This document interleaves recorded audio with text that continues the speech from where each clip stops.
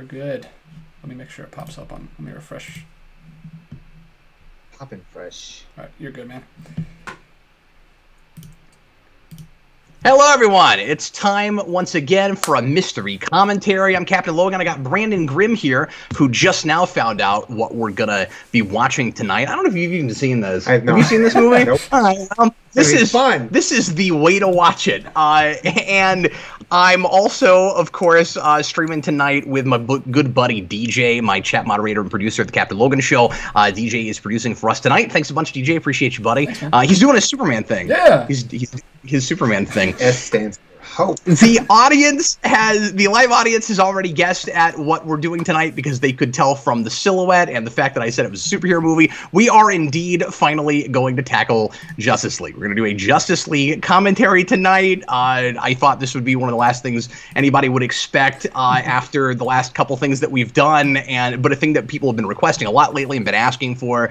Uh, so I thought now was finally the time. I went back and watched it again the other day in preparation for this. I hadn't seen it in a while. I I had the worst viewing I've ever had of this. So uh, we'll see what it's like watching it now with you guys. Uh, I had the same thing with this kind, well, not exactly, but kind of like I did with uh, a couple of the J.J. Abrams Star Trek movies. Uh, I saw it once, and I knew it was mindless, dumb, and, and dumb, but it was sort of fun, and I didn't hate it as much as I expected to, but I was really worried to ever watch it again. And then I watched it again and I went, yeah, I didn't enjoy that as much. And then I watched it a third time the other day and I was like, oh, oh, I see what everybody is saying now. Everything is relative, right? I think my initial response to this movie was, what'd you expect?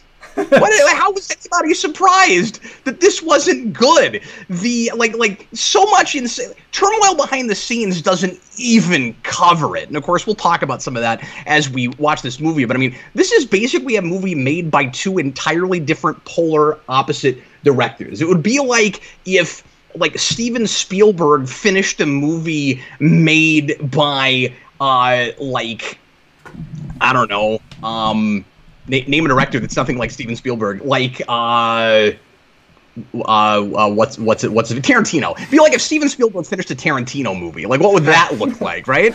And uh, this is just a really bizarre, strange entity, and uh, at least I sort of could tell what was going on. It had to be a video game plot before we finally got to, to, to that with with the DCEU with these movies. But at least I wasn't totally confounded. Like I don't know what's happening. But don't get me wrong. I mean, it's still terrible. Yep. So anyway, I sorry, what are you gonna say, DJ? No, that's good. That was a perfect analogy. I feel like I'm. I feel like I fully understand you better than I ever have.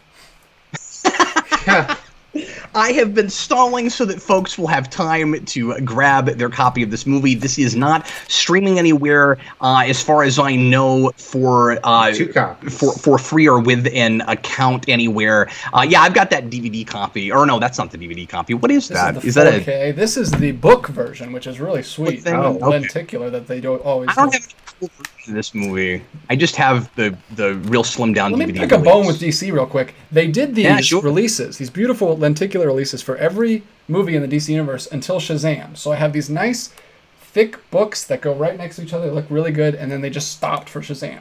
I don't know. I guess they did. That movie didn't make enough money to justify it, but a little bummed. A little bummed about it. They still did a lenticular, but it was just a regular case. Connor says the way I see it, what's on the screen is on the screen. It's an embarrassment, despite how much turmoil was behind the scenes. Yeah, but we knew it was going to be. I'm just saying, like pe- people that were surprised by this, I, I didn't understand that. There were people that seemed like sort of outraged, like, oh my god, how did they let this movie come out? Yeah, well, they spent the money on it. Like they, they were they were gonna have to release it. What are you what are you gonna do?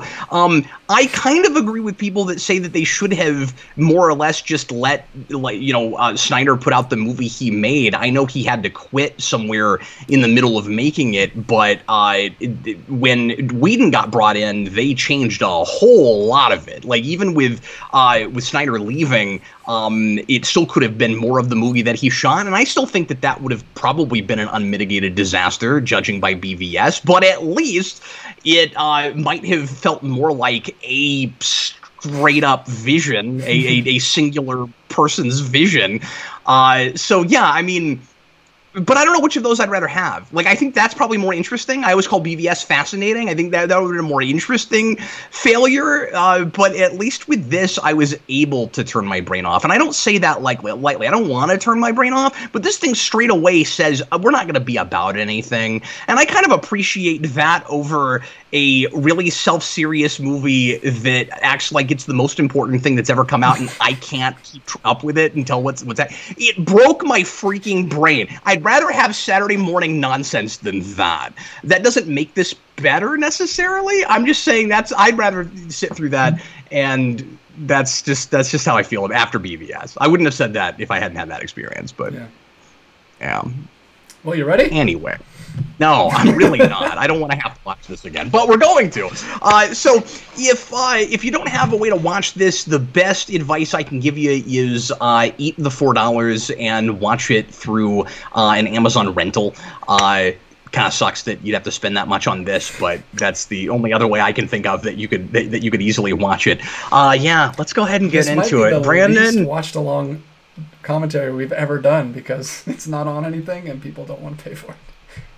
I am. Brandon, are you ready? I am. Okay, we're gonna do this. Here we go. Get a timestamp zero.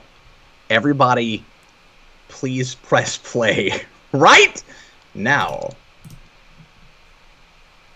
So, Brandon, you and I saw Man of Steel together and reviewed it and loved it. Oh, wow. And every uh, uh, repeat viewing I've had of that, I've I've had more and more issues with it, and I've That's had haven't gone back to a, harder time feeling the way I did when I first saw it. Mhm. It's not exactly what I thought it was, and I latched onto some cool ideas that weren't brought enough to the fore. The characterization really wasn't there. I don't want to re-review Man of Steel again. Right. Uh, but it's weird where we're at now. Like, just first of all, it doesn't feel like it was seven years ago. That was seven Was it really ago. se- Yeah, oh, man. 2013. And now uh, we're even all the way past this movie where we've kind of put the DCEU to bed and we, we've hung on to the elements of it that are popular and that kind of worked. Uh, but more or less, it's it's gone now. Um, we, we don't we don't really have a cohesive continuity. And even going into Aquaman, uh, this is a thing I hadn't thought about before, really, DJ. But uh, Aquaman has his outfit in this that more or less is the one that he will get in Aquaman. I don't know how he had, and the trident too. I don't know why he had a trident. He doesn't have that at the beginning of Aquaman. Yeah. So we're already retconning right away. So Brandon, you see how weird uh, Superman's face looks like right now? That's Yes. because of the airbrushed uh, mustache. You probably heard about that whole I have thing. heard about that.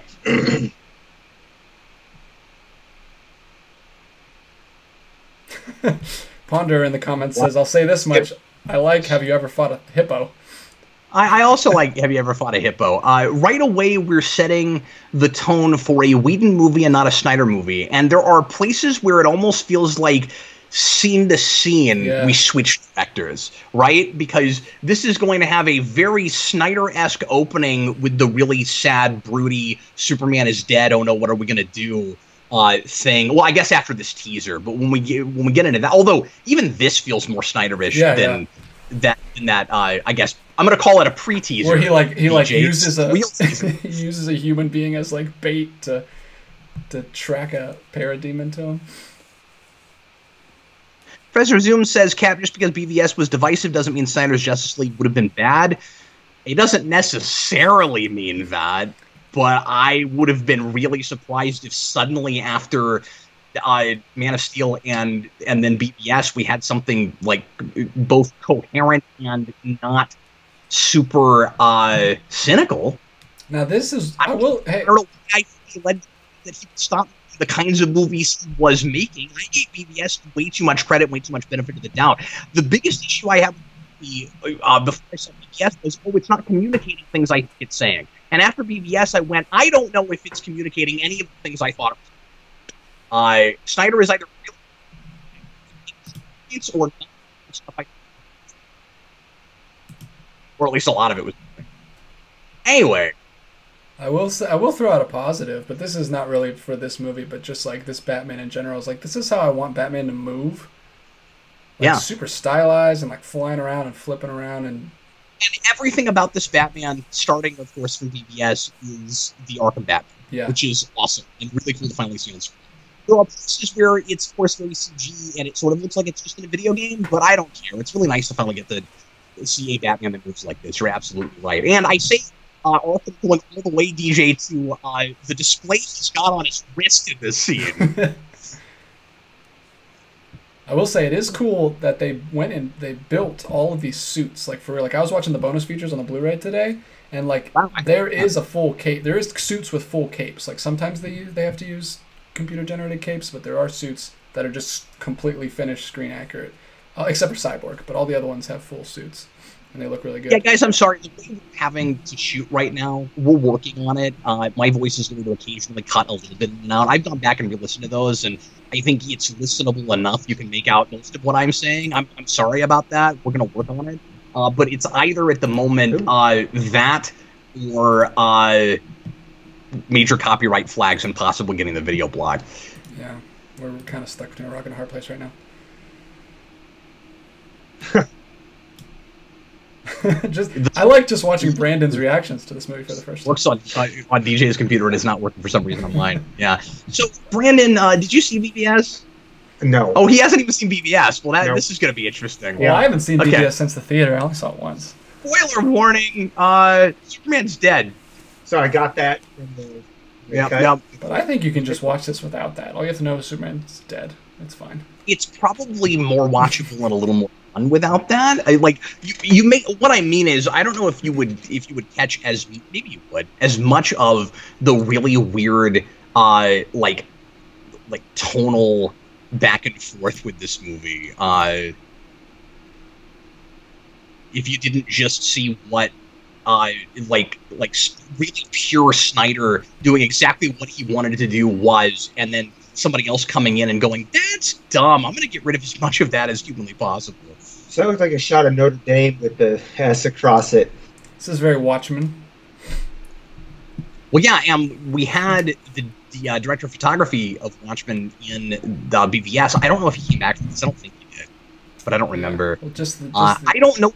I don't know the background of this as well as I do some other things. Uh, so I'm sure some folks will fill in in the comments. I honestly got really tired of hearing about of, of hearing the whole release the Snyder Cut thing constantly. That I've just not really looked that deeply into this movie because it made me almost less curious. You know what I mean? Like, if the thing finally comes out, obviously I'm going to be really curious to see what it looks like. Yeah. But that that's deafening and obnoxious, and I'm like, you know what? I don't even think I care anymore.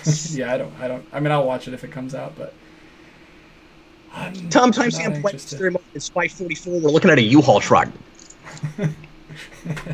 Looking at oh, the dog is still there. That's that stupid dog. Connor says that everybody knows Sad Girl cover is a hate crime. These credits are 100% Snyder. Superman's death to Bowie and Prince's with a recently dead man's song uh, playing is so off-putting. Uh, I didn't realize. I I guess I had never heard the original. I didn't know what this song was. So now that you say that, yeah, that's maybe in poor taste. Uh, I mind that song just as a song and as the way to open this movie if it was a Snyder movie. Yeah. Uh, I like how he opens his, his movies. Yeah, he always does. That's why. That's what I was saying when I said it's very Watchmen. Yeah, and that's my favorite opening credits of all time. Yeah. This one's kind of sillier though. This is. I mean, this is nowhere near as good as Watchmen, obviously. Well, we're trying. uh, Obviously, the big problem with this is we're retroactively acting like Superman was different, was was a different Superman than he was, and Yeah. that the Which I'm totally World- fine with. reacted to him uh, differently than than they did. I'm I'm not okay with I'm that. totally fine because I don't care about continuity at all. I just want this to be its own movie where I can watch it and be like, okay, so Superman was like this, and now he's dead, and that's all I need to know. I don't need to think about BVS ever again. But but you do though. Here's why you're completely and hundred percent unequivocally wrong, DJ. um, if it straight up made Superman a completely different character, and then also everyone's acting like he was, that's fine. The pro- I guess for the sake of this piece, Yeah. the problem is you're still stuck with that stupid Lois Lane baggage. We're still treating Superman like the only thing he cares about in the world is Lois Lane.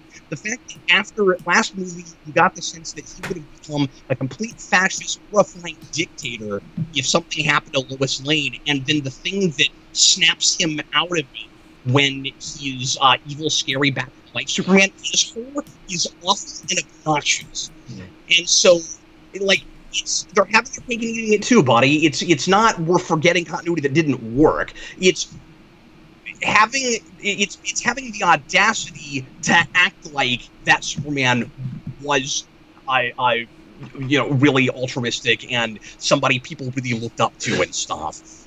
Yeah, but they play that like it's he's just like like confused and like disoriented when he wakes up from the ship, which is dumb and cheesy that like his heart shakes him out of it, but like I don't know. I feel like that's just this movie.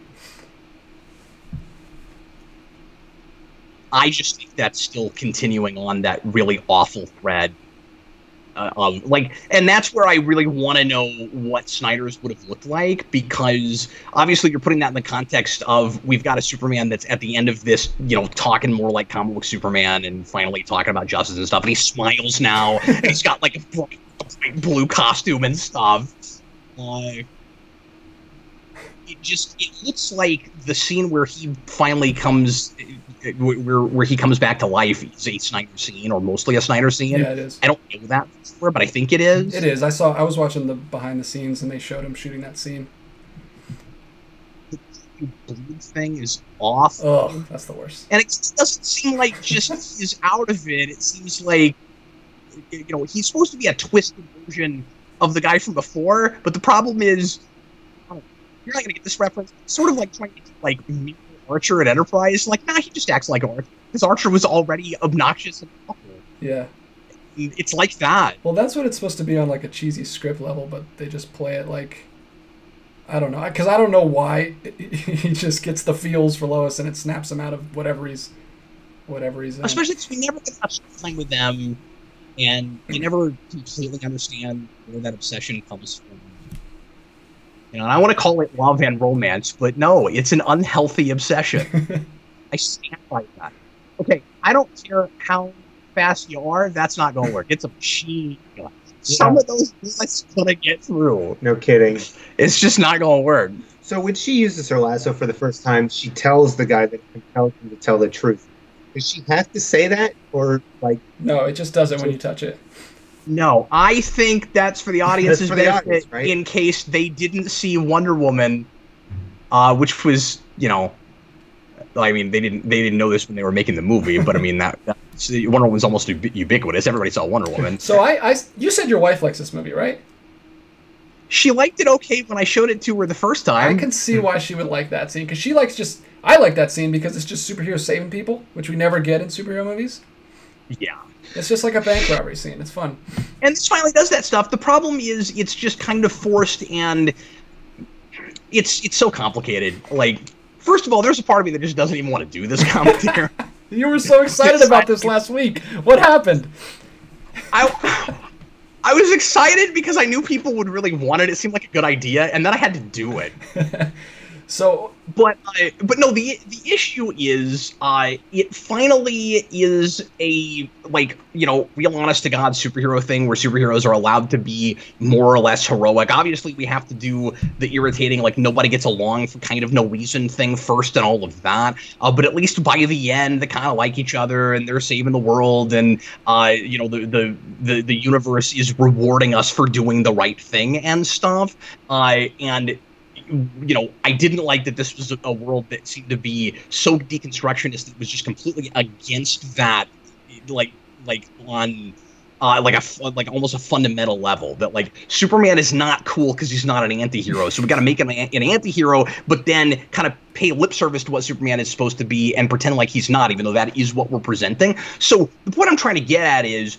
Uh, at the end of the day, this is. I know that's hilarious. that's how the greatest detective in the world figures out that a document is right on the wall. They painted it right on the wall.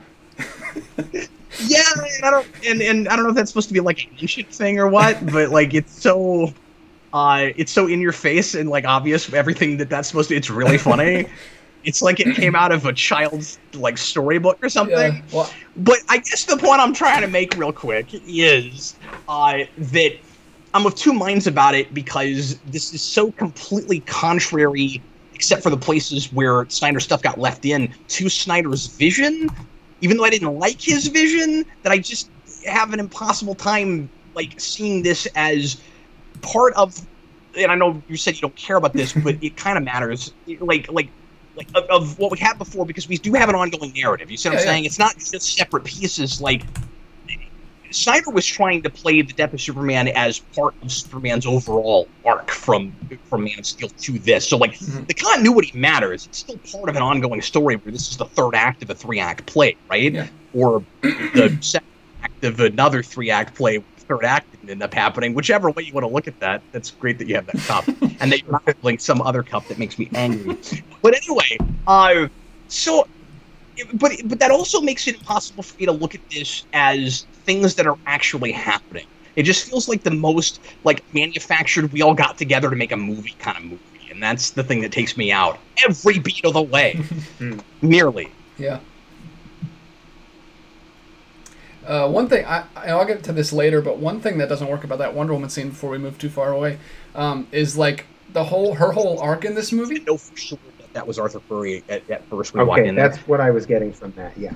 Like her. I'm sorry. What's up? Wonder Woman's whole arc in this movie is that she's like been hiding and not doing anything, but then we open with her like saving people. So that's a little weird later. Especially. Uh, every talk. Oh, I'm sorry. Go ahead. Go ahead. I was just gonna say, especially because she doesn't really do it in secret. She like does her super arm blast and like probably blew up half the building and killed that guy. So anyway. Uh, everybody talks about the beard thing. Uh, Connor says, okay, so did Bruce grow the beard super fast or wait a couple months to grow a boss beard and then go to see Aquaman so he could immediately shave it off? yeah, I don't know. he has to have a super cool beard grow like that when he, when he meets Aquaman. The assumption I'm making, because I don't know exactly how much time passes, I don't think it's real clear about that. Uh, and it, of course, this is one of those movies that feels like there's a lot of stuff missing, but because there is, but uh, and then a bunch of stuff added. the assumption I was made, I don't get as hung up on that as, as, as Eric, other people. The, the, Eric could not stop talking about that after he and I went and saw this in the theater. Oh, really? He was just on and on and on about the beard. the assumption that I made was that a couple of months indeed have passed, and that uh, Bruce Wayne doesn't shave his beard because he doesn't have any reason to put on the bat suit in that in that period of time. I guess is the best thing I can come up with, uh, or that he wants to look unrecognizable when he gets there. Yeah if he doesn't want people to recognize him as Bruce Wayne, maybe he maybe that's why he's putting his out. I don't know. Yeah. I didn't, Hello, I Matthew Bays. Uh, we got a quick super chat from Lucas Green. He just says, "Oh, thanks. How many streams today? Keep up the good work, Cap." Thanks. Uh, just one. We're doing this stream today. yeah, I don't. Is what we're doing. I don't know what that means. For a second, I was like, I was, I was, I was thinking back to earlier today. I was like, did I do a stream? Yeah, I was going to ask you, did you do another stream today? Maybe he was just oh, asking so. genuinely how many streams today. I guess just one. I have been streaming enough that is a completely fair question. Absolutely.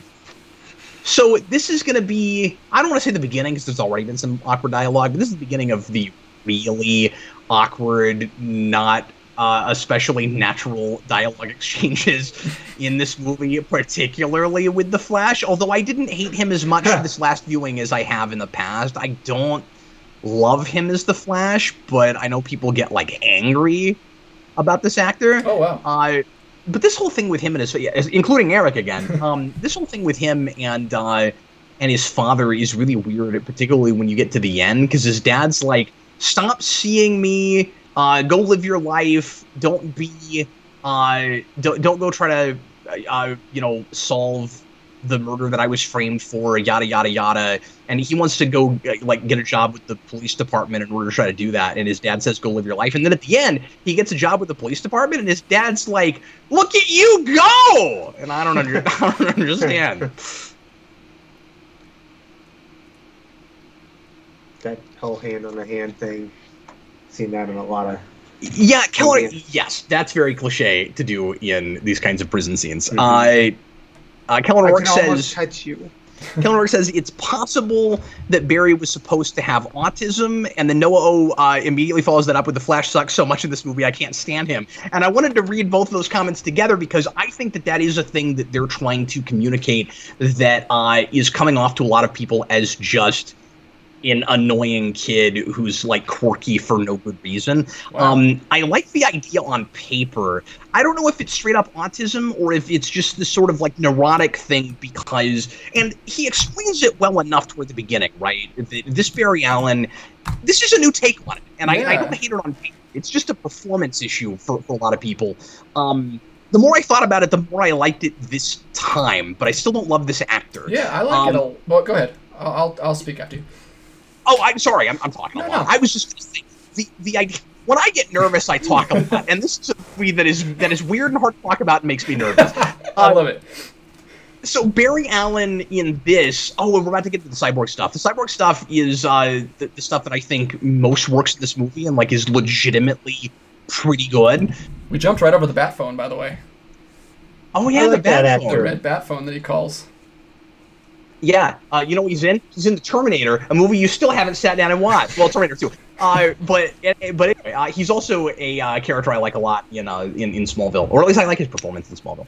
Uh, and he's in Eureka, and yeah, he's fantastic in that. What I mostly know him from, actually. Uh, but anyways, so uh, the thing with this Barry Allen is that uh, he's supposed to be kind of scatterbrained and neurotic because he experiences the universe at a different speed to everybody else, and everything to him is just so slowed down, and he doesn't know how to concentrate on anything, and he doesn't know how to.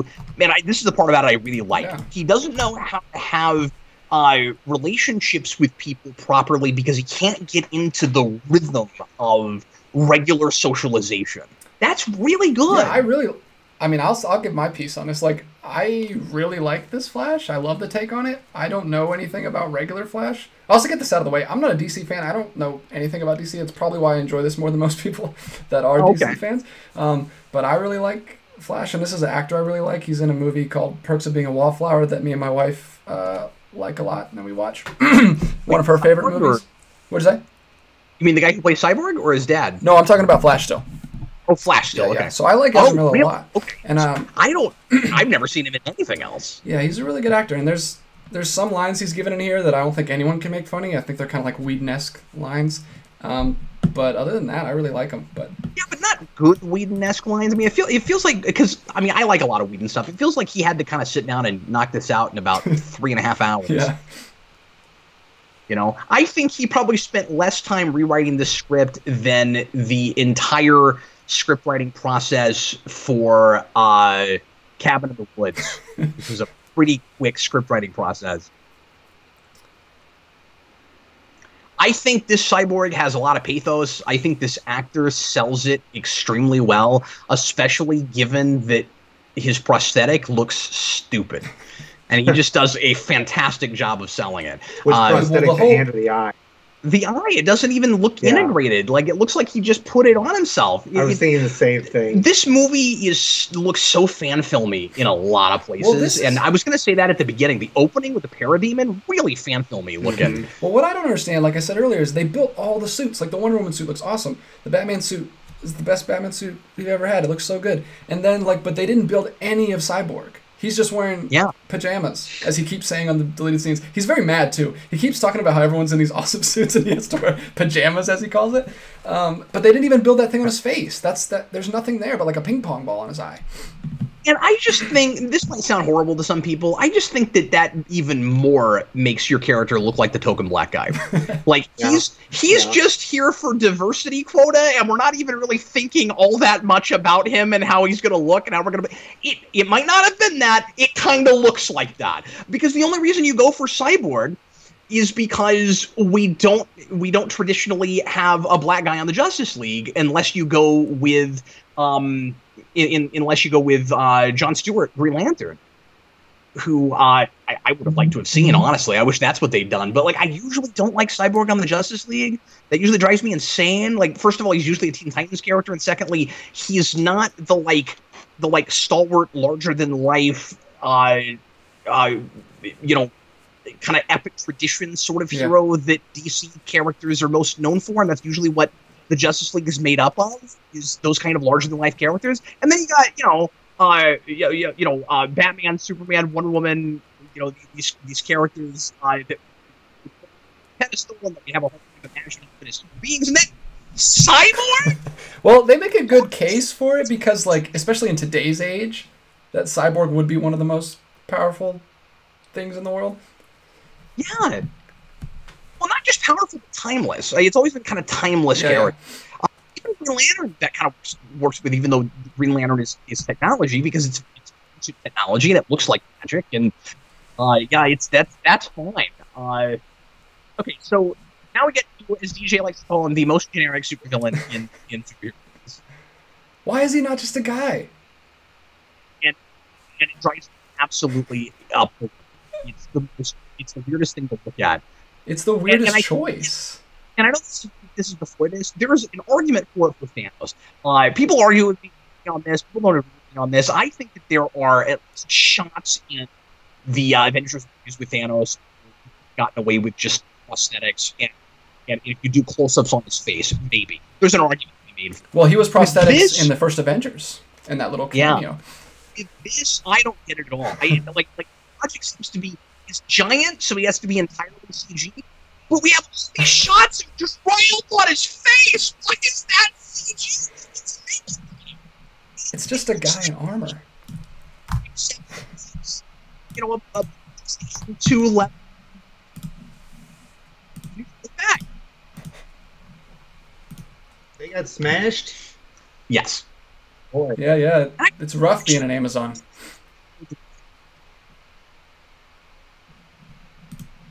Man, I see. I like this scene. I like going back to Them- Themyscira. It's fun. It's a cool scene. But they fight the most generic villain you can imagine. Yeah, it's just a guy in armor. We've seen Thor movies. I don't know why they couldn't just put a guy in armor. Just I yeah. And I also think it's even worse because like the fact that he never feels like he's actually there with anybody on the scene does not help, of course. like the last villain we saw was Ares. They just go into another dude with armor who just constantly throws out like makes right platitudes over and over again. Ares is kind of interesting, especially in comparison to this guy. yeah. But like, he might as well just say like, like 550. Because every time he talks, it's literally just a, a, a different sentence. Yeah, well, his his superpowers are just like strength. He's just like a big brute. And also, the movie makes a point that he's not really the be all and all unto himself. But we never see that, even in an after credit scene or anything. It's like, just wants to do the Thanos thing and build the dark side. We just get one token line about Darkseid. And then that's it. and, he, and also, he keeps saying mother you know, you know, dealing with the mother boxes as if there's going to be some kind of big reveal at the end. Like, forget everything you know about DC Comics. Like, just, just like a like like a Brandon, somebody that doesn't know this stuff, uh, and watch this movie. You might expect a build up to some like big, more powerful, looking, really scary villain at the end. Meet mother, like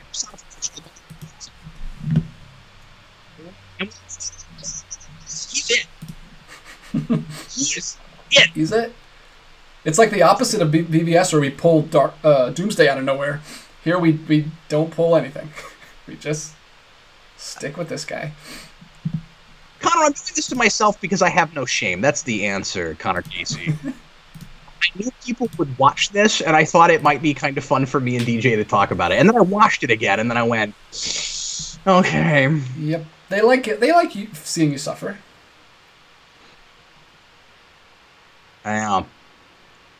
So I like this idea. We'll get into it a little later, but like I like, I'm like I said, I'm not a Oh. DC guy, but I like the idea that there's like these ancient civilizations, like the Amazons and the the Atlanteans, and also like a Superman, but he's on a different planet. But I really like that these two have been on Earth this whole time, like secret, like, and it's it, it's super Lord of the Ringsy when they when they're like, with this like they pass this mother box on to you, and this mother box with the Amazons, and this mother box with men, mortal men.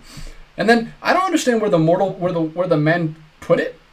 Like where did the Why does this have to look this fake? I'm sorry. like how how does like Stone's dad get the mother box? Where did they find it? Does it ever say? I don't know if they ever explained that, or if they did it so offhanded I don't remember. It didn't stick with me, whatever it Like was. did they just find it underground or is there like a, a cult of of men that have been guarding this since what is the impetus for this MacGuffin plot? Like, how did the boxes? Moreover, riddle me this. So, we, we make a big deal out of uh, it's it's not what's inside the box; it's the box itself. Yeah, there's nothing inside it. Okay, Why is it called a box? I mean, why is it called a box because and not like cube, a cube? was taken, Cap. Oh, right, this is the cosmic cube, right? You can't That's a that. Marvel thing. Marvel has cubes. DC doesn't have cubes. They have boxes. So this is one of those things where this movie obviously goes without saying, especially because it's made by two different people, and because it's by committee, and and Warner Brothers is horrified it's not going to make money after BVS and all of that. Uh, that it cannot decide what it is. It doesn't know at all what audience it's for, and it of course wants to make everybody happy, but does that in the most superficial ways possible. Sorry, that sounds like a Whedon line to you. Does that sound like a Whedon line to you, or she says, "Jump like a cougar if you miss by a dime," or some, some weird like that sounds like ninety-year-old Ma Kent. That doesn't sound like something this this woman would say. It sounded really awkward to me. Sorry. She has a couple of lines like that even in Man of Steel, I think. Yeah, though. they- Maybe not, but I felt like she was even a little bit kind of like cliche country lady, uh, you know, farmer wife, even in Yeah, that. it just sounds like she's so much older I- than she looks. She looks like she's like early fifties. Yeah, well, with everything she's been through, I guess I can sort of buy that she would age this month. You know, she was the entire reason that Superman did not get killed by Batman in the last movie. No, I'm, no, I'm Don't talking forget, about Ma Kent, Martha's not her. the reason. I'm Sorry, talking I'm- about Ma Kent, not uh. No, she's Oh, okay. I, uh Remember, right, yeah, Mar- Martha is the reason. sorry, I was getting confused with this movie where Lois Lane is the is the reason. Yeah, well, she's still the reason for Superman to give a crap about anything, BVS. Don't get me wrong. Uh, remember, she's the key. Lois is the key. Do you buy this? and then, Given the Ugh. Lois that we've had so far, which is a good character in Men Yeah. of Steel, do you buy that she uh, she just completely stops writing after Superman dies? I don't want to buy that, but at the same time, I. So I used to say that too. I used to say that that we had a really good Lois and Man of Steel. The more I go back to that, the more I'm like, I don't really know who that character is over completely. You know, you know, overall, like I don't feel like she gets enough screen time. I don't feel like she's, uh, you know, completely drawn. So with what little I understood about that character, and you know, I guess as much of you know a go getter and about the truth and, and and all that that she was, I want to say that, but I guess I don't really know like how she would react if Su- especially because I don't know her relationship with Superman well enough to know how, how that character would bring Yeah, to we that. saw none of that. We see one scene in a tub. The big thing I wanted to complain about a minute ago, a minute ago when I was uh, giving a whole bunch of preamble about how this movie cannot decide what it is, is uh, I don't like stuff like that scene with the lady on the news who just keeps throwing What out was f that? bombs. Do we need that in this What was movie? that? I don't even know wh- why they didn't cut that. It was weird. Is he still figuring out how his stuff works here? Feels like he's unsure. yeah, well, what's what you'll see, um, Brandon, is that he doesn't have full control over it, and uh, it kind of controls him sometimes. I don't think that's what's happening Yeah. here, but His, his technology is connected to the mother boxes, Okay.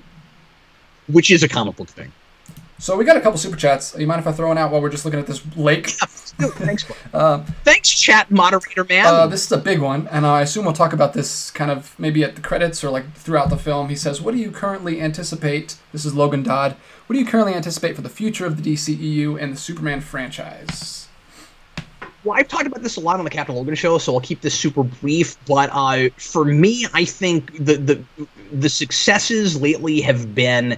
Uh, or the reason that lately Warner's has been more successful with superhero movies uh, has been because they've just been making movies kind of one at a time, and I think that they will, for the most part, continue to do that. So they'll have franchises, they'll have sequels to movies that worked really well, but they're not going to be constantly trying to build to a larger universe into a big team thing like this. Uh, when we finally get to Superman again, my prediction is just like Joker and just like Batman, it will be another. And my money is on the 50s or 60s. Uh, I could see us going back to that. So here's where it gets super Lord of the Rings. like the I don't, you're not a big Lord of the Rings fan, but there's this huge backstory, and they're like, we give seven rings to the the dwarf lords, and nine rings to men, and three rings to the elves or whatever, and they do like that exact thing with the mother boxes. It's true, except it's it's less complex and feels more like a video game plot. I like these two together though. I do too. I mean, there's major missteps in the in the story with how they handle them together. I Yeah. think, but I like the I like the actors on screen I'll say together. that. That's why I like this movie in Some of the- theaters. Is just because I like all the act. I know some people don't like Ezra Miller, but I personally like all the actors in these roles, and I just like them being the characters. For a couple hours. Like I like I like I said, I don't have a lot of investment or anything, but it's just it was just like a something you just enjoy watching actors you like do acting. The biggest worry that people had when Justice League was announced, even before we knew what a train wreck BVS was going to be, was that DC would just constantly chase Marvel and they would accidentally kind of, or, or maybe on purpose, uh, make carbon copy uh, uh, movies. And so doing uh, Justice League so early, people were like, well, God, we're just going to make Avengers again. Uh, there's our token Green Lantern moment. I still don't fully understand why there's not a Green Lantern in this movie. I'm sure there's background on that. Uh, originally, as, as a lot of people know, um, and, and, and we used this as some marketing ourselves for the channel at one time. There was the whole Unite the Seven thing, uh, like a year before this came out, which where you got. Uh, they changed it to. They What's changed that? it later to Unite the League. Unite the League, yeah, because they decided it wasn't going to be seven. All of a sudden, it was just six, which must have been a real late in the game kind of change. Because like the movie is already in, it must have been filming, maybe just pre-production. I would have assumed it was already filming at the point that they said Unite the Seven. I guess I don't know I don't that know how they sure. could, that seems like a huge change. That you move a whole character. a huge change. Yeah, that you're doing marketing that early. You, you'd be pretty confident. Okay, we know how many we're going to have at the very least. And then they go, ah, just six, just the ones we talked about in BVS. And uh, and no and no Green Lantern. So I'm I'm assuming I think it's been it's been stated that the seventh the seventh was supposed to be a Green Lantern, but I don't know if that's Yeah, true. I don't know how they could have introduced him. Like, like they already have so much introduction. Three, they're introducing three whole characters that we've never seen, besides those little like. Uh, characters that we saw glimpses of in the last movie, and if they wanted to make that about, because here's the thing, when I know I'm all over the place. When Batman versus Superman, or Batman v Superman was announced with that stupid direct-to-video sounding subtitle, uh, "Dawn of Justice," the assumption I and I think a lot of people made was, okay, they're trying to take a different tack than Marvel did, where they had a slow burn, uh, introducing a lot of characters and then putting them all on a team together. Uh, DC was like, let's kind of get out and up in front and do our team movie fairly early, and then split a bunch of characters off. And I thought, and I, I've always said, I think it would have been maybe smarter, at least in hindsight, to have started with Justice League in the first place and then split everybody off instead of Man of Steel and then BVS. But I, what I assumed was that with that subtitle, the idea was we're going to kind of introduce the whole league in the BVS movie and somehow try to tie all that together and make it work. And then Justice League, we can really tell a story with these characters that you've met already. That's not what happened. Dawn of Justice should not, not just because it's a stupid subtitle, but it doesn't really have anything to do with that movie beyond uh, just this token, like, let's real quick mention all that all these characters are ruined and uh, kind of manufacture Batman running around trying to find them. yeah, it serves the same purpose as the Nick Fury scene at the end of Iron Man, where he just, hey, we're making a Justice League movie. It's coming. That's the only thing it does. Yeah, but it's in the movie and they treat it like a major plot Yeah. point of the film. It's kind of off the beaten path and doesn't have a lot to do with what we're really looking at, except that Lex Luthor's involved. Um, so Yeah. I say all that to say that this ends up uh, There it is. really just feeling like Avengers again, but uh, slower and duller and without uh, arguably, you know, any kind of decent villain presence. And you don't want another team building movie right after you just did a team movie building movie. That's obnoxious. You don't do a Suicide Squad and then do this. what?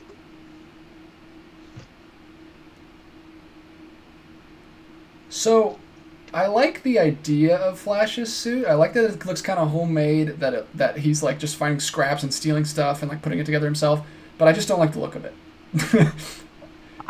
care for the look of it either. And it screams trying really hard not to look like the TV I show. don't get it. Like, like I, I watched the costume designer on the Blu-ray, and they're like they, they kind of made it all like st- strapped together, like he's doing this homemade, and it like, kind of looks like a, a running sneaker as a, as a good thing. And I'm like, a running sneaker? It doesn't look. It looks like a running sneaker. That's right, it does, and it, it doesn't. That's not a good thing. I don't want my superhero suits to look like a, a running shoe, especially these weird like white straps in the front of it.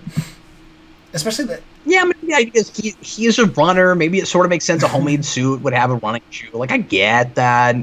No, I'm talking about like it looks like a running shoe, not that it has running shoes. Oh, you mean the suit. the the suit looks like a running? Sh- oh, sort of like the Amazing Spider-Man suit looked like a basketball. But I just I think the biggest problem with it for me is the head. I don't know why the head is shaped like an alien head.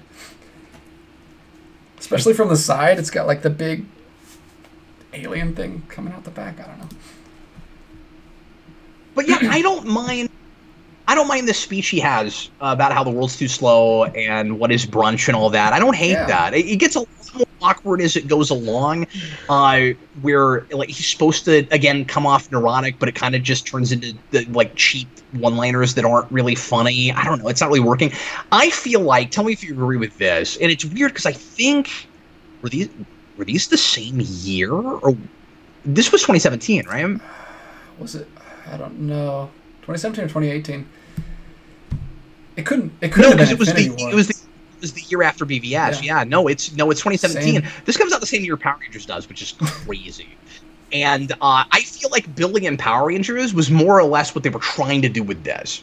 Yeah, but what I like about this is that it's it's because of his powers. Like it's the Peter Parker thing, but like it's literally because of his like he's Sure, but I guess what I mean is in having a pseudo autistic character because in that movie he is just straight up autistic. In this, if he's not, it's an allegory for autism, yeah. maybe. And I'm just saying that no, you're right. well, it's like more like this ADHD, is, this is right? Like he can't focus on anything. ADHD, sure, absolutely. But I guess what I mean is in in having like a condition like that, uh, uh, to to some degree informing your character, uh, defining your character.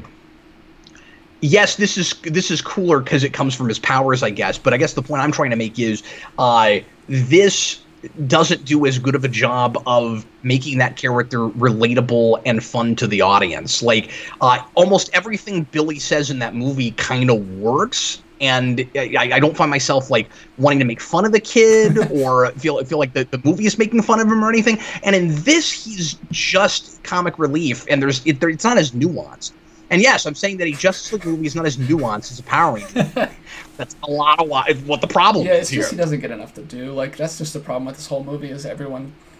I don't know. It's it's not like they give someone too much to do. It's like that they all get an equal amount of nothing to do. Because there's just so much going on. with that. I wish Cyborg had been our eyes in, Yeah. man. I'm gonna go that far. That would have been cool. Never thought I could have been won over on the idea That's of Cyborg crazy for Justice you, League yeah, The you hate one thing this movie does for me is that, and it's not good. Cyborg. Uh, let's look at some more. Yeah, I got a super chat. I got some more comments. super chats. Um, well, Lucas Green uh, left us a super super chat to ask this, which is awesome. He said, "Is it okay to ask a question not related with Justice League?" Um, real quick if you really want to. Um, but I'm I'm finding it difficult to get everything out that I want to say. So. And then this super chat from Dave Atkins, Brandon should play Devil Dinosaur in MCU. what? okay. You know who that is, Brandon? Know who I do is. not. He's a dinosaur. I well, I, I gathered that much. He's from the Savage. So this is this is a think. couple I scenes ago. a lot T Edge about it. Ones gives us a super chat says, "Why did Steppenwolf come out of the boombox in Themyscira and not one of the other two? I don't think the idea was he came out of the box. I think he just like showed up. it teleported him there. Just, I like, poof- think. yeah, I Does it gate a boom tube? I don't know how he. J- I guess I. I don't know what like I, they, the whole idea is that he comes because Superman's dead, but I don't know like how he can just teleport anywhere. I guess he can. He does that the whole movie.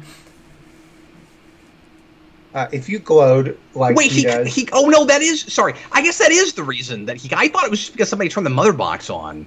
No, they were just sitting there watching it like always, and it just turned itself on because he. Oh yeah, no, that's a stupid plot point where it's like you you don't you don't have anybody to, to protect and lead you now, even though that Superman was like super angsty and, and wandering around and didn't know who he was either. Yeah, it's crazy. Like, do you think they would have completely reinvented Superman for this movie if it was the Zack Snyder complete version? Like, because it seems so oh. tied to that.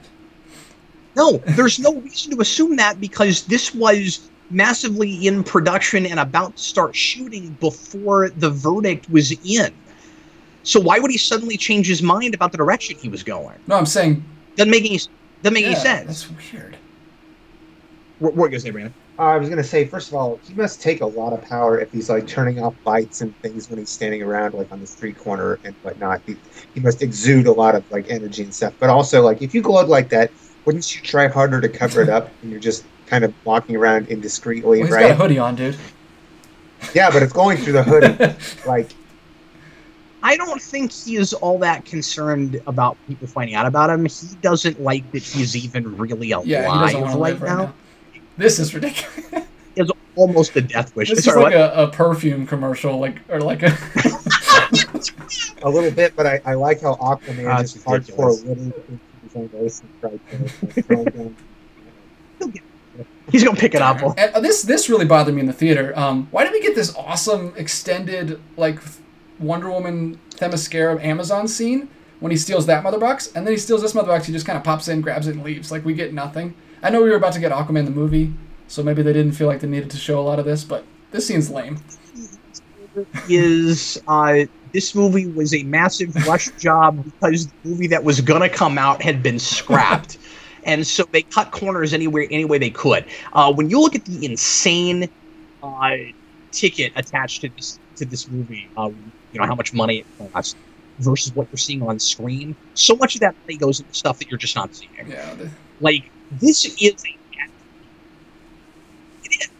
Uh, like there are obviously uh, some things here and there that could not be done on a TV budget because they're holdovers from the big movie that you have this movie star thing. But the movie that you're watching, minus like twenty percent or something, um, is is lot of corners and ends up yeah, this scene's just really lame and anticlimactic. it's like a pilot show that could get good by season or maybe. I mean, yeah, if this is a if this was a pilot to a show, this would be much more impressive. Connor says three hundred million dollars. Yeah, exactly. And I think you're seeing a third or less of that on the screen because I think the majority of that money went to a movie that you're not seeing. Because Snyder still swears that there is a, a complete or almost complete cut of his movie. Now, I'm sure that uh, special effects are not. That's probably why, why we'll never see it, because Warner's not put the money into that. But also, I don't think this wants to go back and show everybody what could have been when they're wanting us all to forget about this, minus the parts of it that worked for people. They don't want us to forget about Aquaman and Wonder Woman, but beyond I that, you know, and- I want to see Like when the I Snyder cut with with uh, Cyborg just like in the motion capture suit, just running around. Why is that motion capture? that that was the thing when we saw the trailers where I was like, wait, surely the effects aren't done yet. Like, why does Cyborg's face sometimes look like a special effect? And then I saw the movie, I was like, no, they're doing that too. Like, it's not every scene, but there are places where you get close-ups on Cyborg's face and it's partially CG. I'm like, why? I don't know why. He has like a bad prosthetic on his face, and then his mouth is not fully a real mouth sometimes, and I don't understand. Yeah, I don't know why they couldn't do a prosthetic for his face. But that's just how it's done these days. Like you see, Tony, uh, Robert Downey never puts the Iron, a real Iron Man suit on anymore. He's just Because I didn't watch the, the behind the scenes, so you're saying he's not wearing a prosthetic at all? No, no. He's not wearing he's wearing anything on his nothing. face? He has a little ping pong ball so they can like gauge where his face is moving. Um, Those scenes were, I'm convinced of this then, those scenes must have been rushed so hard that the special effects artist had like two weeks to do Cyborg. Because what it looks like is a really cheap TV prosthetic stuck to his face, and also his mouth is CG'd sometimes. That's what it looks like. It doesn't even look integrated. Like if it's if it's entirely a special effect, why does it look like he plastered it onto his face, not like it's receded into his skin? yeah, you can look at. I'll send you some pictures of what it looks like. CG looks better. and that's 1989. But no, not because it's real. Because it's the time on it. well, yeah, I mean, it's really attached to what I'm saying is, there's all kinds of other things attached to people's faces. Like, okay, that looks pretty bad because Well, I can yeah. tell that it's just a thing stuck to your face. You're telling me that that's not a thing we stuck to his face. I didn't know that. So that's like exactly like the Zod, where like he was never wearing that, except I couldn't tell. And in this, I can't tell, but I it was something prosthetic, which is weird. So why? Uh, the answer to and, and mother boxes are and that's why he calls it mother. That- That's it. As Okay. far as I can tell, just just It was weird. New Gods, drop a New Gods reference. for Darkseid. I like the way he says for Darkseid. Yeah, he's a, he's a I'll good give that. actor. Do you even know who, who is the, who this is? I never looked that up. I didn't know either when I was watching the behind the scenes. I was like, oh, that's him. Uh, Ciarán Hinds, which is a You'll name know his that I face. don't You'll know his recognize. Oh, I do know Yeah. that face. Where do I know I him don't from? know, but I know his face. Yeah. Uh, no, he's in stuff. He's a good actor. I don't know what he's doing in this. Saw. Uh, oh, I know him from Rome. He was in Oh, Rome. interesting. I don't know what I know him from. I didn't look it up. He was in Harry Potter, but I don't remember. I don't remember who. Uh, so obviously, people are going to expect us to talk about this. Good pick for James Gordon. Didn't matter. They didn't do anything with Yeah. him. So uh, he's really good. He looks good with the hair too, and the mustache. He has almost an animated series here, except it's not quite a a uh, ice. The J.K. Simmons is playing Gordon here. Yes. Yep. Interesting. Or rather, he's doing Gordon cosplay in a couple of scenes because they don't give him anything to do. oh yeah, I'm proud of that. Anthony Cabrera says, "Remember, Simmons got jacked for this movie. Do you remember that? Yeah, those pictures on Twitter where his arms got like really big for this movie, where he's just wearing a Well, coat the whole I think the whole thing was like he was just like, no, I, I just like to work out, and he was just people were like assuming that it was for this movie. I thought even he made a big deal out of it was because of this movie. I don't know. He was in a big coat the whole time. Uh, so this scene is awkward and uh, it just is hard to watch. It's kind of cringy. Batman. Imagine the coordination Batman and Wonder Woman would have. to Would be like, And you know, it, it, it's it's like a practical joke on everybody. Okay, so uh, we're gonna both disappear real fast, and then the Flash gonna be there, and he'll be ironic Because it's the Flash. He's not the one that moved really fast." So really, really, oh god, that's still not still I mean, not as bad as. So that's what that feels like. no, no worse than that. It's absolutely I worse than that. I completely disagree. That is the horrendous. I hate that so much. of of everything of, of all of the insanity in Dark Knight Rises, that's your thing. No, that's not my thing. I'm just saying if we're comparing these two scenes. Man, Dar- Cyborg looks so bad. Ah, I'm not even talking about how it looks. I'm talking about just the design. Like I don't like that it's just all silver. Like it's just all metal. Like there's no. I like. I don't know. Maybe I'm just used to Teen Titans Cyborg where he has like more human parts to him, and it breaks it up a little bit. Have a origin for getting the circle in his chest. Why do we have to always do I that kind of crap? And it looks a little bit better at the end when we have the circle, but Did you just laugh at that? No, don't laugh at that. That's stupid. Why did I you know laugh? that's at why I like because it was stupid. It's so stupid. It was stupid. Look, you're entitled to your opinion. Granted, if you think if you No, it was was funny, stupid. it's I was just stupid. like, why would they? Like, if I'm reaching, there's sort of a setup payoff thing with uh, like a like a Wonder Woman and Batman parallel, where Wonder Woman has been in the shadows, sort of like Batman, doesn't want to get anybody hurt, like Steve Trevor. And there's that joke later where he says, "Well, if, if you you know after all this is over, if you want to go back into hiding, but just come out when uh, people need you, like you have been." You can dress up like a bat, and I won't prosecute. Which I don't hate that line. That's kind of fun. Uh, and like I guess I could stretch and say it's setting that up, Yeah. but it's still dumb because how would they coordinate that?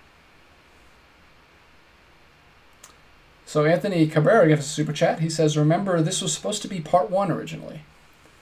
That's right. I don't know how far into the process that was the case.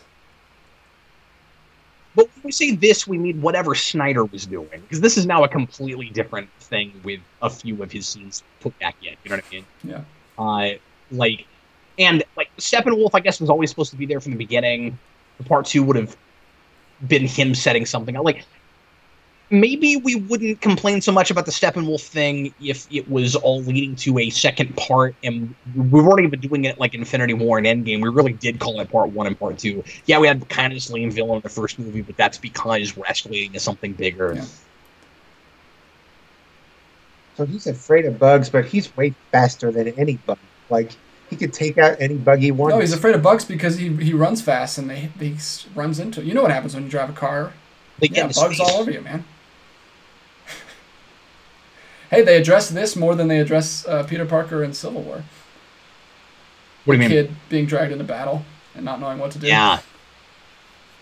No, and I and I kind of like that is very Whedon. That's obviously a thing Whedon must have written. Uh, but I feel like there are places where I'm getting kind of a spark of what a uh, Whedon Justice League movie, unfettered that he did himself, would look like, and uh, and and the DC versus the Marvel of it. You know what I mean? Uh, DC is the place to have like, even if it's Batman, you know, a superhero tell another brand new superhero just just go save one. Yeah. That that's what you do with that. That's a cool scene. and I like I that. like that. I like them together. Like I say, I like the actors. I just, I wish they had more stuff like that to do. Vitali, would you say Justice League War is better than this? No, I would. I think they're probably about on par. I think I think actually a lot of the things that I find cringy in this are less cringy than than a lot of stuff in that movie. Uh, but that's, I mean, the only thing I can give that over this is that it's not a compromised as it does have a tone, you know. Oh, Batman you know, it, it's got consistency, even if I like the vision in the first place.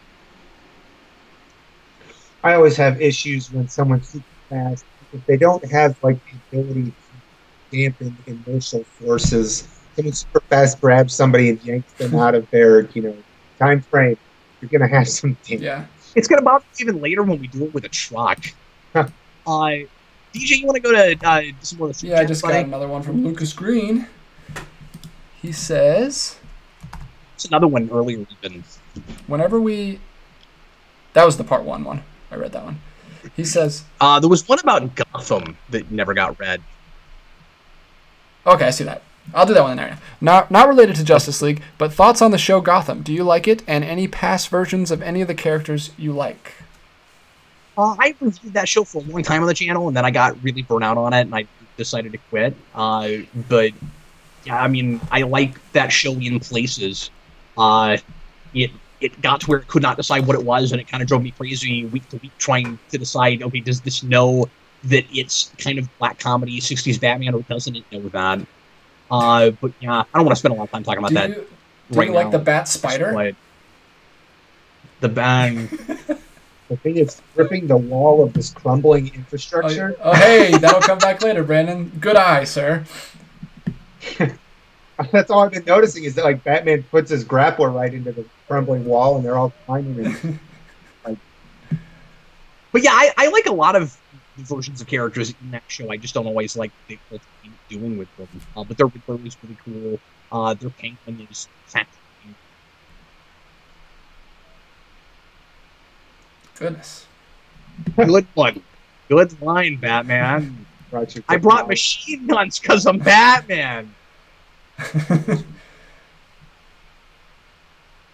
That's what. oh, nothing really to talk about. We're just watching a fight. Yeah, well, that's going to be a whole lot of this movie, so strap in, everybody. Or all we can really do is go, did this part have to be slow motion? And, uh, I mean, I get that we're looking at a Flash. Yeah. I like how he moves. I, I, I don't know how people like that, but I like the uh, the, the electricity flying off of him.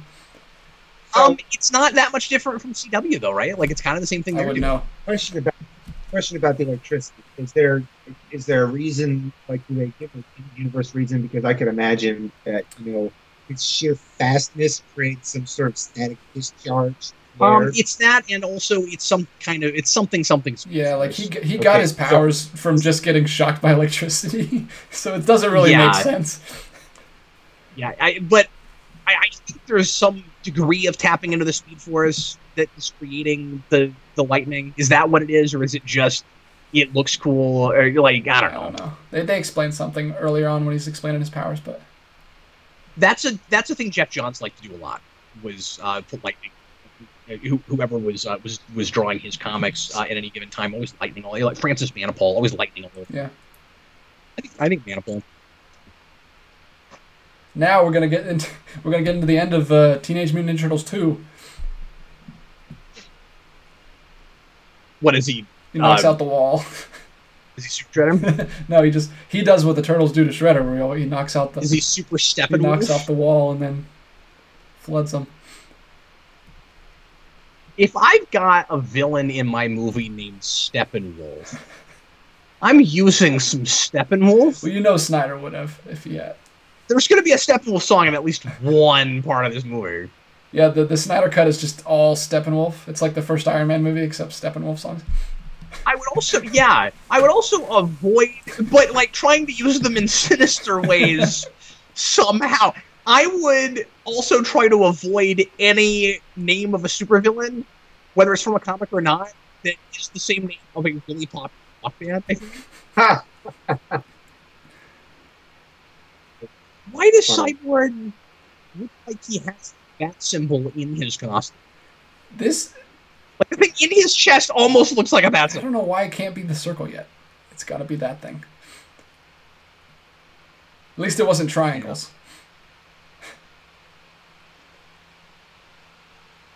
The uh, the bat spider, as I'm gonna call it from now on.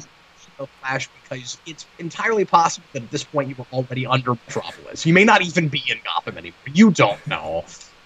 Brandon Gotham and Metropolis is stupid. Right next to each other. Gotcha. They're, The they're like they're Twin the twin cities.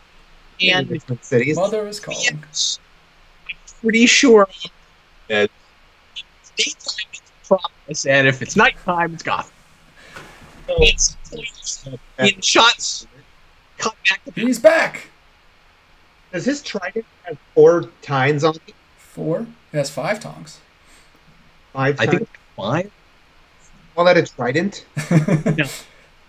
It's right in the movie. no, this isn't his. He gets the trident later with just three. Even though I don't know where he got that. He only has that because his name's Aquaman. Like, I don't know why he has that. Well, he uh, what's his Amber Heard? Amber Heard gave it to him. Oh, Whatever really? her name is. Yeah, there's like a line before it cut away where he was, I think, asking oh, I thought he just had it. Okay. because they were in like the throne room or whatever. See that cape looks so cool.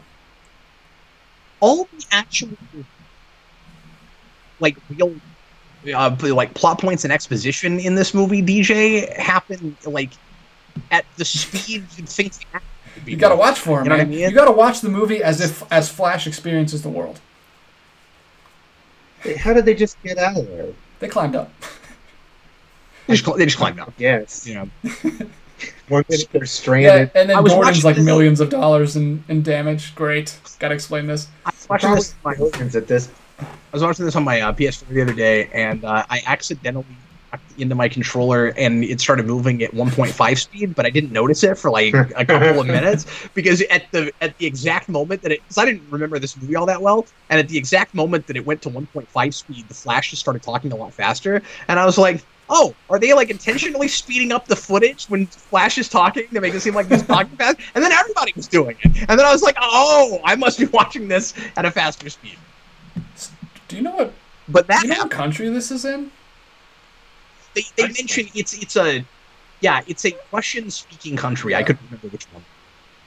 Why is he setting up his? Oh yeah, that's right. He, Yeah, like- Anthony Cabrera. There was the '89 theme. We're also I don't know I don't know why I haven't talked about music yet. I've got so much. I could spend the entire movie just complaining about the score. It drives me absolutely insane because it's awful.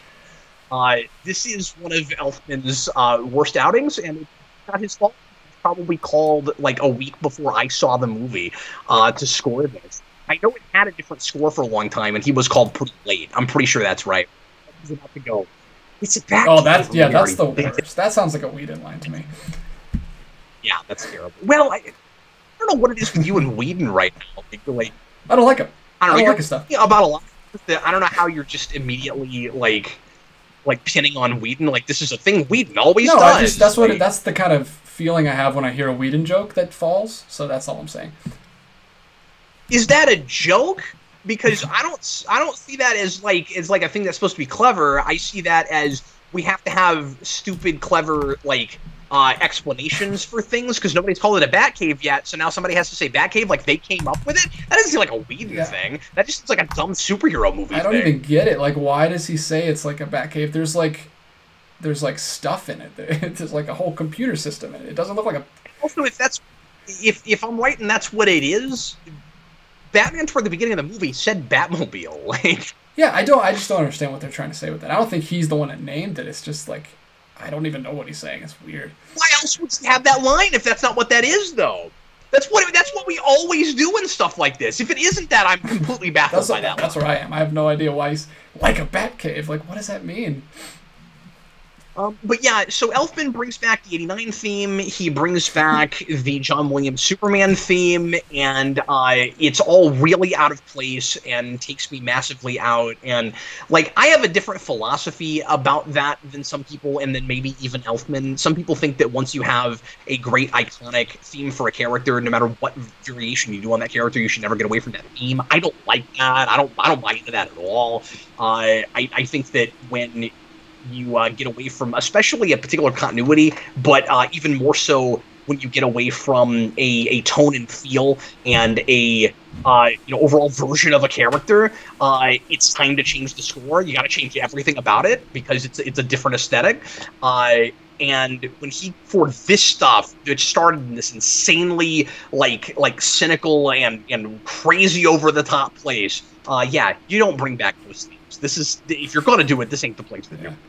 Uh, so we have a super chat from Lucas Green from a while ago. He says, "Whenever we get Simmons, he's always the mustache character in every hero universe. Marvel, DC, heck, Megamind. He was the Warden. I did not remember that.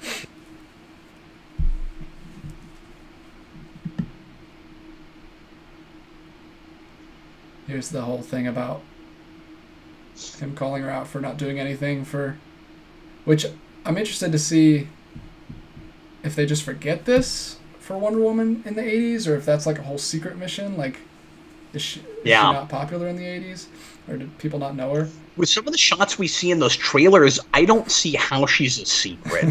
it just seems like she's right out in the open doing doing stuff. Um, I think there is still every possibility that there is some kind of clever reboot that happens in that movie for that character. I don't know what, but I mean, there were there was rumors for a long time that Wonder Woman eighty four was the place where we would kind of do Flashpoint, and I don't think they're doing that, and I don't think they'll go quite that far. But I think that there's every possibility. I think it's really plausible that uh, that movie will not line up with this, and that Patty Jenkins is trying to come up with some kind of uh, you know loophole to get around it. Uh, or we just do what we did with Aquaman and just conveniently ignore certain things. I guess that's possible too. Because if you're technically away from this continuity, I guess you, I guess you can do that now. I have a question for you since we don't really have anything else to talk about. I'm going to create something.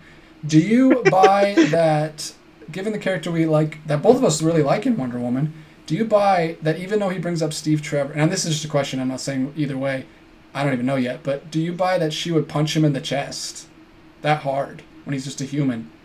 When he mentioned when she mentioned Steve Trevor, The idea is now, the idea is supposed to be that uh, that he's that Steve Trevor just gets her. that that he's just he's just pushed her that Yeah. far. yeah. Um, I don't know. I don't know. It's yeah. hard to Does say. she ever have a I think temper? Gal is the best that she's that she can with the material she's got here, but I don't think I don't think she or really anybody in this movie is like completely consistent. I don't know if that's ever a character we played with a with a temper like that, but I could see it. You know, he died pretty horrifically. One of the things I have a hard time with with Bruce Wayne in this movie, I haven't talked much about Batman, is that uh, Superman dies and he has just like a complete like 180 degree turn and he's transformed into a completely different character and it's real cheeseball uh where like in that in that scene before where he's he's just trying to push Diana to get her to where she needs to be so that he can get away with bringing back Superman and stuff. Um, he still is is coming up with a contingency plan. We'll find out later that it's just bring Lois there, which is irritating. But um, but like he agrees with her that this is kind of playing God and going too far, but he doesn't see other way any other way around it. So he's trying to have responsibility. Uh, it's not a matter of like like uh, you know I I think I know everything that's you know what the right thing to do is, and so we have to do it my way. He just doesn't see any other way around it, and he I don't know he may be right, whatever. And uh, but it's just it's it's real it's real cheesy and sappy. Like he's he's trying to pretend like he's the Batman he was from the last movie, uh, but in fact he's like really found himself and figured himself out after all this. I need him and Superman to have more screen time last movie for for me to buy all that, and that's why I can't I I, I can't completely go with with you DJ on the like let's look at this as its own piece and uh, not worry about continuity thing because it's so informed by that I have to. And I think that actually makes yeah. it worse because he's so the opposite of what he was in that. Like, no, it does make that's it. That's why I don't even think of like I haven't thought about BVS since I saw it in the theater, so I don't even think about that kind of stuff. But they keep reminding me of stuff. They keep bringing it back to me. Even if I'd only seen it one time, I would still have that. Yeah, it's pretty forgettable for me. So I don't know, Batman branding people and then murdering people, but everyone pretending like he's not, not unmemorable for me. Anyway, what? Well, you're a Batman fan, so, so, that would be shocking to you. Superman died. What were the circumstances surrounding his? I don't want to talk about it. well, my, my question is, was he in one piece, basically? Yeah, yeah he just got stabbed. Do, am I am I expected? He got, he got stabbed. Oh well, that's unfortunate. Um, am I expected to believe the Man of Steel gets stabbed? Okay. Well, uh, it's kryptonite. It's kryptonite. Yeah. Okay. Well, uh, am I expected to believe that they buried him in the ground and they didn't like take him to a government facility to? Yeah, there's a lo- there's a line that Batman helped orchestrate it. Still, like they okay. thought that it was not his body in the casket, but Batman switched it. They sneaked that in, yeah. Okay. Anthony Cabrera says, "Okay, the scene of the graveyard looks like a ZWC." yes, it does.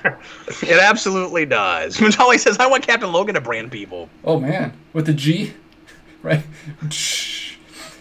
Holy shit. We gotta. DJ's gonna what you like, don't know is I've already got one on my. No, just D- kidding. DJ's gonna go. Man, I sure wish I never yeah, made that logo. I don't want to be an accomplice to your life of crime. Cat's just going around branding my logo on people. I've already got one. So Lucas Green gives a super chat. He just says, "No." he just says one thing the Justice League can't save: this movie. LOL.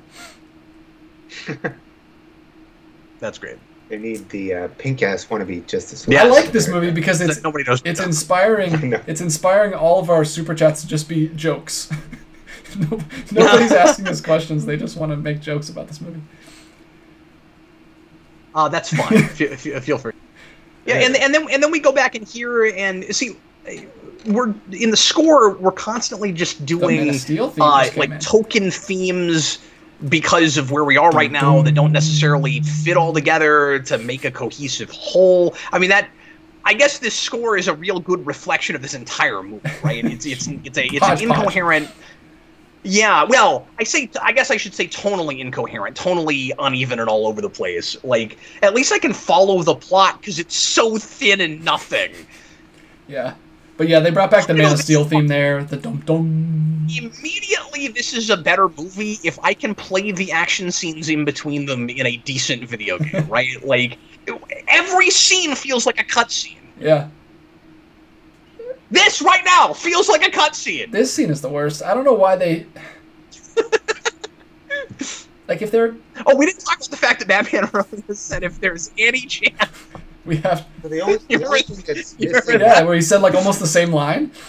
yeah, so in BVS, Brandon, yeah. it was it was even uh, if, if there's even a fraction of a chance or whatever the line was, like two percent, whatever it was, uh, that that uh, that Superman, um, you know, might be bad or might hurt people or whatever. Uh, we we got down, and now again, 180. If there's any chance at all that we can bring him back, yeah, that's right. Okay. Uh, so the only and there's this contrivance to make it where he has to touch it at the exact moment that it hits the water, so it's super dramatic. Um, exactly when you hit 88 miles per hour. I get that reference, and I haven't even seen that movie. Ding. Man, has got obnoxiously expressed in every, no matter what the content is. Just now, it's got this insane scowl with lines a person's face could not even begin to look at. Hmm. It's like, how do you have the expressive mask, but it has a look like plastered on it. Why do we need this ridiculous? Okay, This stuff animal with a smile on your face and trying to look angry. It's like I can't do it. I'm really mad. Like big smile on my face. I'm angry. I'm Batman. So what? What? I, I Brace yourself I'm- for this scene, by the way. Uh, actually, this would be the only scene I've seen, and I watched it at uh, Nebraska Furniture Mart in the electronics section, That's amazing. and I didn't know what was going Mart. on. Yeah, so this is the scene that Marvel always has to do, where they have to fight for some reason, just because he's he's like pet cemeteried. That's Yeah. all. That's all they say is he's he's came back and he's he's all wonky. But Could we didn't try maybe- before? well, they didn't They have the mother box. Well, that's true.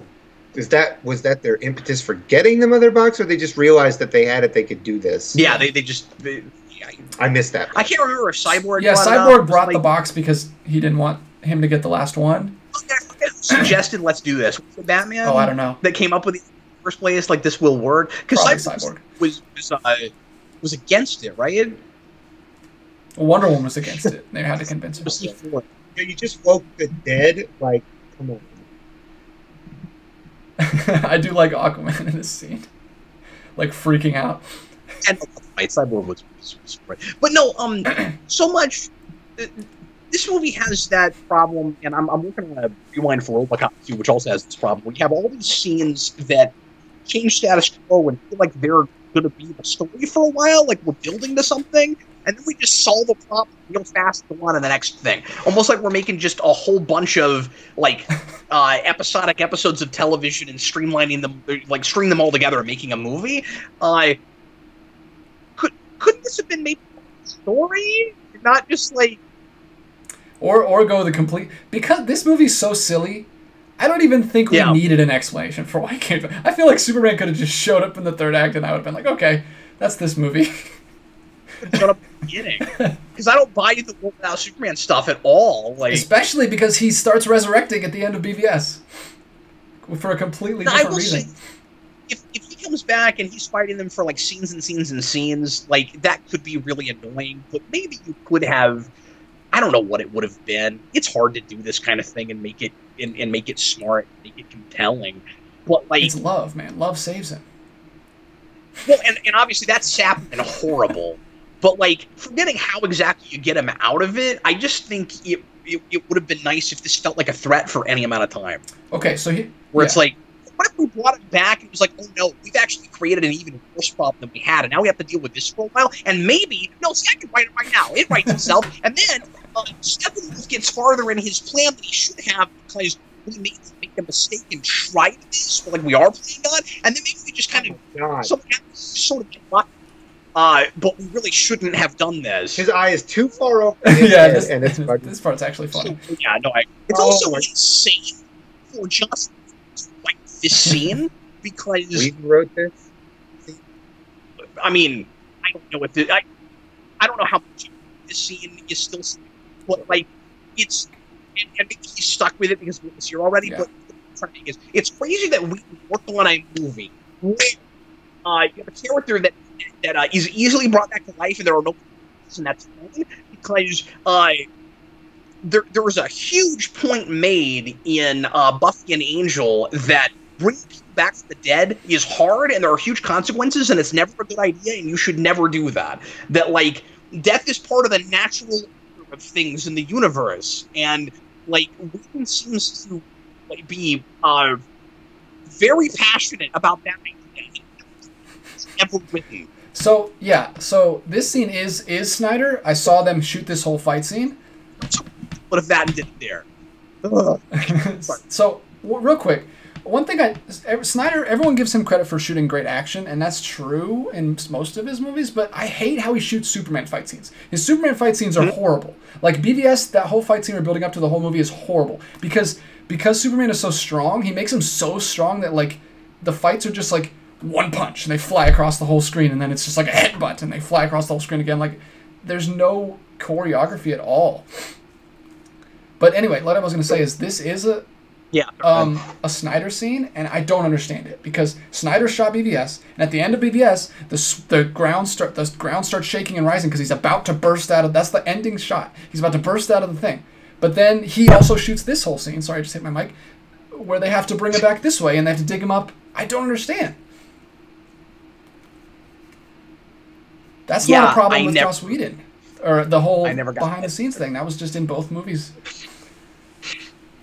No, you see rocks rising up. Yeah, because he's Yeah, about they- to take off. That's what happens every time he takes off. That's why I would be fine if he just showed up out of nowhere in this silly movie.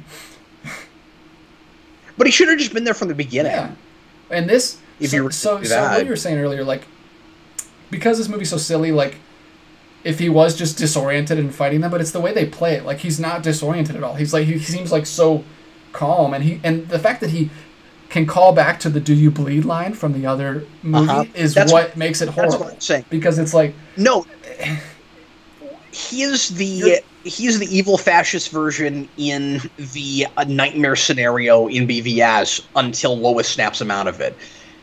And that's why I'm saying that remains a problem, and part of the reason I can't just look at this as its own thing, because it still is consistently saying if there is no Lois, he is a crazy person. Don't know. But he wasn't. He, Why would Joss Wonder Whedon not cut that to line? Remember who he is, and it's like he he wasn't remembering who he was until he saw Lois. So yeah, like, no, that's not what's going on. He, No? He's talking. He, he he he knows That's Batman. the that's what it's supposed to be, but then they. Ugh. right. And then, then they throw some other stuff in there Why, that kind of you makes would it. think not that that would be the first thing. As soon as Zack Snyder got off the movie, they would cut the "Do you please" sign. they would just like, cut get that that, out of here. That's yeah. horrible. This is funny. No, you're right. I guess it plays differently without that one line, but like and he's just too he's too calm and collected. He should be more like like a Hulk. He should be hulked out. and also I that's a good point too. I know I'm going to upset people who really like BVS when I say this, but and and like everybody's entitled to their opinion, but I am going to say I don't know how a lot of people uh especially of course people that don't like BVS uh thought that somehow Justice League would be like this wonderful masterpiece if only we got to see the Snyder cut. When you have one of the only scenes we know for sure Snyder shot with Superman holding Batman by his face in the air, and he doesn't die. Like that's cool. That's extreme, Logan. So, there's no way that is somehow the only crazy thing that happens in that movie, or the craziest thing in that movie. You were looking at what that movie No, would yeah, have like been. J- Gordon would have got like his limbs ripped off and stuff. no, but that that full on Mortal Kombat. that scene was great. Um, when when he was when they were in the field, and uh, I was watching this with my wife on Friday, and she says, "You smell good," and she's like, "There is no way he would smell good. He's been in the ground for what six months, a year? How long has he been dead? Long enough to decompose Yeah. him. long enough for Suicide Like he doesn't decompose because he's Superman, but he still hasn't showered in a year. Why would he smell good? That- So- yeah, I don't understand that whole thing. I guess because he's Kryptonian. The sun gives him smell good powers. I'm sorry, what? Do you like this Alfred that shows up in this movie? Again, he's not given anything to do. A lot of people now say that he's their favorite Alfred, and I just don't get him on screen long enough to say that. He's a great choice. Yeah, he's just my favorite Although actor, now- but he's not. although now all I can see is Ozymandias after Watchmen. And it's hilarious because we're, we're looking at a movie that's allegedly made by the guy who made the Watchmen movie. Crazy. Uh, and then and then the guy who played Ozymandias in the TV show, who was way, way better casting than the one we got in the movie, which was a huge step, is in this as Alfred Pennyworth. Did you see the? These are I never could have imagined I would ever be Did saying. Did you see the? Um, Sorry, there was like a news article about um, who's the guy who's playing uh, Batman in the next movie. yeah, yeah. What? It's not What coming is right his away. name? Anyway, um, Robert Pattinson. He, Yeah. he did like an interview where he talked about the this pasta that he makes that he that you can eat in your hand. Like he's he that's what he's working on in, in quarantine. Is he's like making pasta and like putting sugar in it in the Is that- microwave so he can just hold it. And um, there was a I just gotta mention this because I think it's hilarious. There was a Screen Junkies video where they were talking about that ridiculous interview today, and um, and uh, they were talking about that's Batman in the Pattinson uh, verse where he's just gonna be like obsessed with pasta, and then, then he, he calls Alfred Alfredo Pennyworth. And I thought it was really funny. Okay, that's kind of funny. That's cool. Look, this is kind of like the '89 Batman. He's got just like a suit of armor over there. The Wicker Man. So, uh, this is one of the better written scenes in the movie, I guess. Uh, everybody likes to talk about how it's weird that Diana goes from that last scene and cuts to now she's wearing a cape draped over her for no reason. I don't know why she put that on to walk into this room. So clearly something is missing there. This is their like foreplay they're doing where they gotta dress up. It's like the it's like the it's like the Watchmen scene. No, no, no, no, no. That's messed up. Uh, I, I'm with you though. I think they have a lot of chemistry, and I think if this had continued and they wanted to put them together, it would have been. It could have been really good. Yeah, I like them together. Just the, the actors. I don't. I mean, I don't know anything about this character Batman, except that he's old. And it, you, you saw the one token line where he's like, "Remember when they just used to use exploding penguins?" yeah, well, I mean, I, I understood him to some degree last movie. He was just, you know, bent and broken and didn't believe in anything anymore. And that you could do things with that with Batman. We just didn't. And then uh, he he uh, wanted to take out Superman, and Superman had the same. Uh, Superman's mom had the same name as his mom, and so now he trusted Superman and thought that he was this big, great beacon of hope because he uh, sacrificed himself by getting stabbed by a spear that Wonder Woman could have easily used to kill Doomsday herself. and that now makes him, that gives him hope for the world again. I don't know you brought up why. The, the score. One of the worst things of the score was they they used the original Superman theme while he was like crazy evil Superman. Why? I know. You first hear Why it. would you do that? This should be, or I don't know. When maybe when he comes back, if you're gonna do that, show it there. You know what's funny? Smallville did that too. Where the, the first time you hear it, it's like it's like really ominous and kind of twisted the use of it, but like it knows it and it kind of weirdly works. There, it, they he didn't put it in a minor key. He didn't do anything with it. It was like it sounded heroic. What? So there is a deleted. There's one. There's one deleted scene. There's there's one deleted scene on the uh, on the Blu-ray. It's him in the Fortress of Solitude getting his suit back, and then he goes and um, meets Alfred, and that and then Alfred tells him where they are. It's like a super short, like thirty second scene. Um, I don't know. I guess they cut it because they wanted that to be more impactful when he when he comes back at the end and just like shows up out of nowhere. It's crazy to imagine that Whedon shot stuff that also got cut. Well, I think that was I think that was uh, Snyder's scene. That might have been a Snyder thing. But what I'm saying is, I wonder if that happened. Oh. It's crazy to imagine that there may have been things that even Whedon shot that then they went, not for time or just some, you know, yes, like, wow, this really messes with the with the with the timing and the pacing of this. Yeah, to cut reshoots would be just horrible. We spent extra money on this, and we're gonna cut it anyway. We're gonna cut it anyway. Yeah, where you pretend like somehow you're still making a piece of art, not a patchwork way to uh, salvage an absolute mess. It might have been in the trailer, Stephen Murray. I don't know. I didn't see the trailer for this, but yeah, he, he just You're in a truck. Keep driving. Yeah, no kidding. he just walks into the the Fortress of Solitude for a second, gets the suit on. This this movie still does have the Snyder problem in almost every scene, even though Whedon directed a lot of this, which is characters do things just. Oh, and now it sounds like the the the, the, the soundtrack to Field of Dreams. But anyway, um, you have characters who just do things for the sake of dramatic effect. That doesn't seem like a natural thing they would do at all. Keep driving the truck to get to the person you're trying to get to, instead of stopping Well, halfway see- there and then running to him. I mean, that, Why? That kind of track because like this tries to stop driving, you just get out and disbelief. I can't get He's got all three. that's, that's weird. but Praise to the Unity. Okay, so like maybe I could make the argument that he wouldn't have gotten to this point if they had brought back Superman, but the movie doesn't play it as a mistake or as a consequence of their actions, right? It's like that's just what happens next in the story. Yeah, it seems like he was gonna do this anyway. It's not like he was waiting. Well, Remember how did we our get the it's like- third box?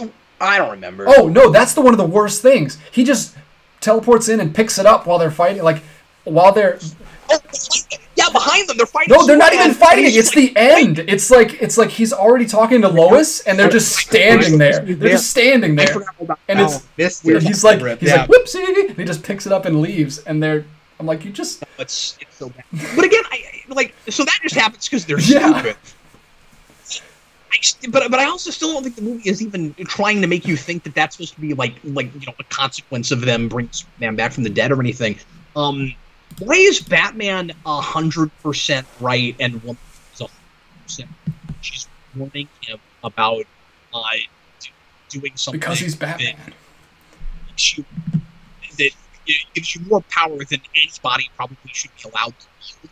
I mean, again, I, I I know that he, he says later, you know, you were right. That's why I had a contingency, but because of what the contingency was, it's stupid. So it just plays like, nah, Batman was right. It was always a good idea. No problem at all because your heart's the right place. And Batman has been, Batman's soul has been saved by Superman, so he is entitled to resurrection, and, and he's right about everything. That's what's going on.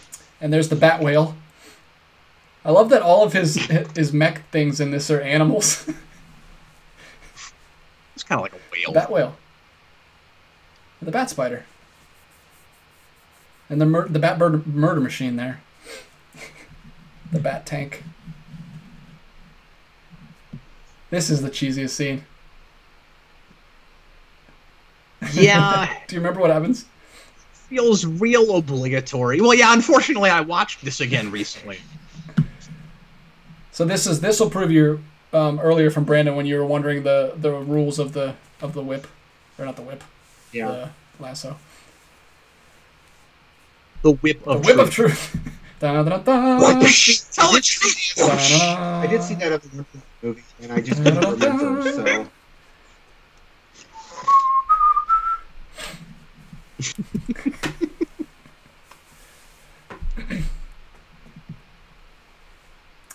But yeah, you always have to have this scene This is the yeah. Where- Sorry. really where the really macho guy, you know, kind of shows his heart of gold, and they do it in. They, they just they just make it a big uh you know comedic This moment. is- they make him the This is the Belief. the Raphael scene in the horrible TMNT 2014 movie where they're falling and about to die. at least at least time is not moving at a different speed. But speed he's talking. for them than, ev- than everyone else. so he just he, so what I got he, he just let out his heart because he was sitting on the, the lasso of truth there. Right. But but but uh, DJ, it is the same problem as that. You're right in that we haven't spent enough time with this guy to get to even get enough of a sense of he is like real. I mean, I get that he's macho, but like you gotta spend more time with him before you can really like find it endearing or even laugh at. This guy is finally spilling his guts because he's a, he's like a man's man. Doesn't talk about his feelings. Like I haven't spent enough time to appreciate But that. Cap, he drank a beer while walking in slow mo. He drank a beer while walking in slow mo, and the waves were crashing around him. That's all you need to know about. He's badass dude, bro. He's dude, bro. So I don't like this Batman. and he suit. lived the ocean. Cleared his own ocean. So can I ask a question about the technology of these boxes? No, No, we, we it's won't answer. We can't answer, man. They're not boxes. Well, it, are, are they biological in nature? Uh, Uh, actually, it's, that is that is an interesting question. I can kind of help out with a little bit. I don't know a lot about gods and stuff, it's just Jack Kirby, man. but they Because look at that. That was biological. yeah, and and probably so the mother boxes uh, are aren't they part of the anti-life equation, or is it just the Darkseid's always looking for the anti-life equation? I forget, but I think there is a bio. Because they look like rotating veins, you know, these and things. It's like a leaf, giant leaf of uh. Yeah, almost more like a brain or something. So, uh, Batman having stupid goggles he looks through is dumb. So you just have that Yeah, I don't like this suit. This suit look. I liked his earlier suit. I don't. I don't like the armored version. I mean, I'm not even complaining about the suit so much as he's got friggin' goggles on. I mean, it makes sense. He's going to be fighting an alien invasion, so he's going to need a little bit more protection. Like, why aren't they just part of his I cowl? don't know. Time, it's the lenses that pop his cowl. Why does he have to have a totally thing? It's really He stupid. didn't have time. He was pressed for time, Cap. He didn't have time to, to invent anything. He just had to grab some. Which I said, there's something that's stopping us in the boxes. Apparently, I don't think it's this literal. I think it's just like, like the. Well, I I have no idea. Honestly, I don't really know. So Maybe he's just drawn to the, like a like a like a s- son to a mother type thing. Just he's drawn to like his power. It's a Norman Bates. It's a Norman Bates thing. Wild says Cat Batman with goggles would have been so cool in the '90s, though. Well, that's the problem with it, right? It's that that's Snyder to a T. Like this would have been so cool when I was a kid in 1988. I get to live out my fantasy, man. Oh, he's got a crowbar. Um, it's only you guys for the DCU on its own. It won't matter. It will either stand completely on its own and not mention anything from the other movies, or it will take what it thinks it needs to from the movies that either the ones that we're currently making or inform the ones that we've made to some but it will ignore everything else. Like we're going to continue, I think, to live in this weird limbo. If anything, present day, if it wants to connect up at all with Aquaman or uh, Wonder Woman Yeah. uh, until a complete full-on reboot, if, if such a thing ever. I think it will always be. There will always be baggage from this stuff and stuff forever. Cap is leveling this, or uh, Batman is leveling this Russian city. Don't blame this on me. Do not blame the destruction of this Russian city on. Oh, he's he's Mater. He can drive backwards. This is what really happened. Six. See, that's why it's in this uh, alleged uh, Snyder movie. Because, uh, this is the kind of thing you would think looked so cool in 1986 when you were a kid. but yeah, Eric thinks that's the funniest thing in the world. Whenever Aquaman does that yell thing, he does. But anytime he says "yeah," or he goes "woo," Yeah. whatever, like, Just surfing on the Batmobile. Um, this doesn't feel like we're in a Russian city. This feels like we're in the hell from Constantine. I in was about to 2009. say the same thing. And it worked in that because that's all supposed to feel and and feel like a hellscape version of the real world. This is supposed to be the real world. And it doesn't look like it's really there at all. And I get the skies are red, but that's not enough for me. Um, my This is where we have Aquaman do a sky fight scene. Ooh. My man. I'm a little bit behind you. Sorry. Oh, okay. Dude. Yes. a lot of people hate Aquaman. I'm kind of of two minds about it. I, I don't think it's the direction we should have gone place. Snyder has the same thing he does with Superman. He doesn't like the character that much in the first place. He him. The difference is I don't have the emotional attachment to Aquaman or the knowledge of Aquaman I do with Superman. Uh, and he's against what Aquaman stands for so much as just it's not character that Aquaman wasn't like drunk deadbeat guy who's like kind of bro dude, who just seems like kind of an idiot. But he's endearing enough in this movie, like as his own character. Like I think Momoa does a good job with him. He's kind of fun. Yeah, yeah. He He's doesn't seem as like, dumb Flash. as they make him later in in his own movie. Like he just seems Dumb. like he's having fun in this movie. That's true. And I like things about his movie. I mean, I don't think it's got. It's He's got, got kind of a Human issues. Torch thing going on, where he just likes that he's this awesome god power dude. Yeah, and that's refreshing in this. There's something about the Flash that that another kind of bugs me about the character of the Flash. He's supposed to be like the That was terrible. person. He always seems really scrawny. The The Flash. Flash. Because speed is not a substitute for strength Right. In like No, moving it- people generally we don't have a Flash with Oh no, that that's something that we do all the time. It's horrible. At the end of Age of Apocalypse, we have Quicksilver like punching A- Apocalypse around. You remember that? Where he just like punches them, and he runs over there and punches them, and then like the big three hundred pound guy is just like flying around. Oh yeah. I don't know why we do that with super speed. You would like break your hand. It's a thing we do an extra. In, I'm thinking more in comics. We don't usually play speedsters like they can lift It a doesn't lot. make it. It's usually yeah. just just because you can move you fast doesn't mean your hand so wouldn't can break. Yeah. Like you, Well, I was Uh, it's also really, I'm going to mention this earlier. It's super on the nose that Steppenwolf is trying to create something called the Unity, and this is a team building movie, and it's about bringing these characters together, and making them family. So it's like Unity. So like, what does Unity really mean versus versus Steppenwolf's uh like really twisted, perverse version of it? That's a very weird notion that fleshed out could have been okay.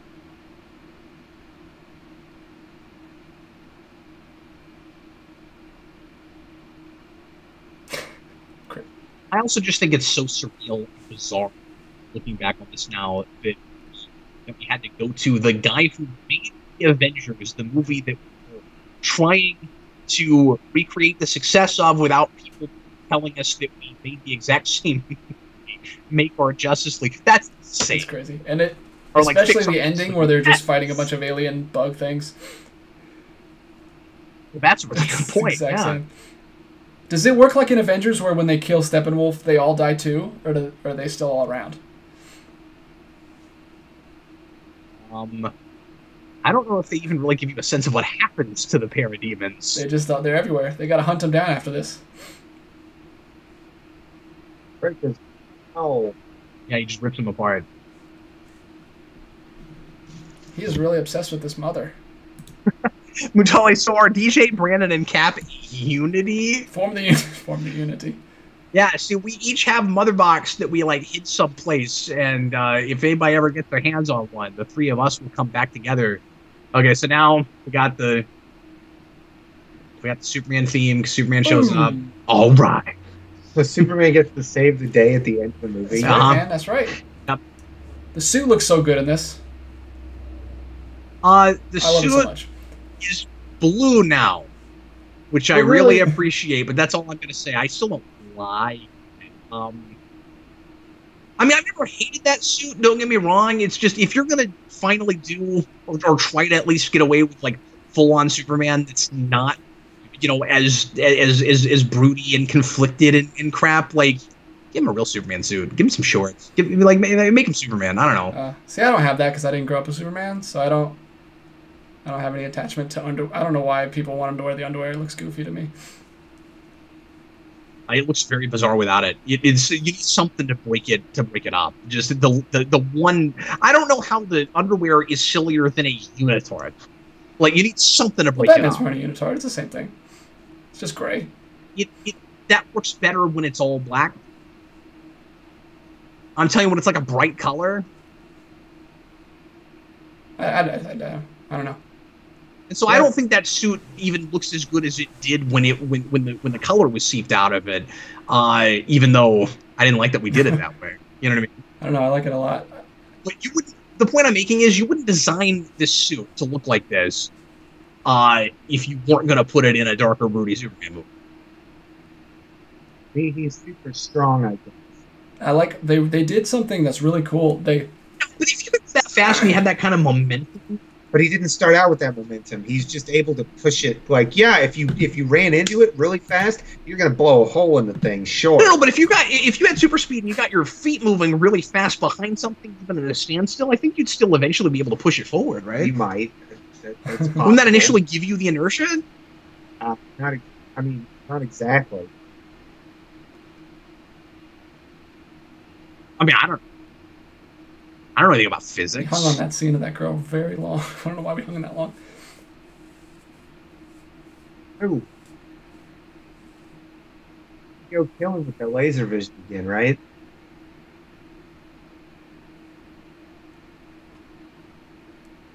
So, Cyborg got pulled apart at the leg, and then they just kind of jammed it back on. and it, it.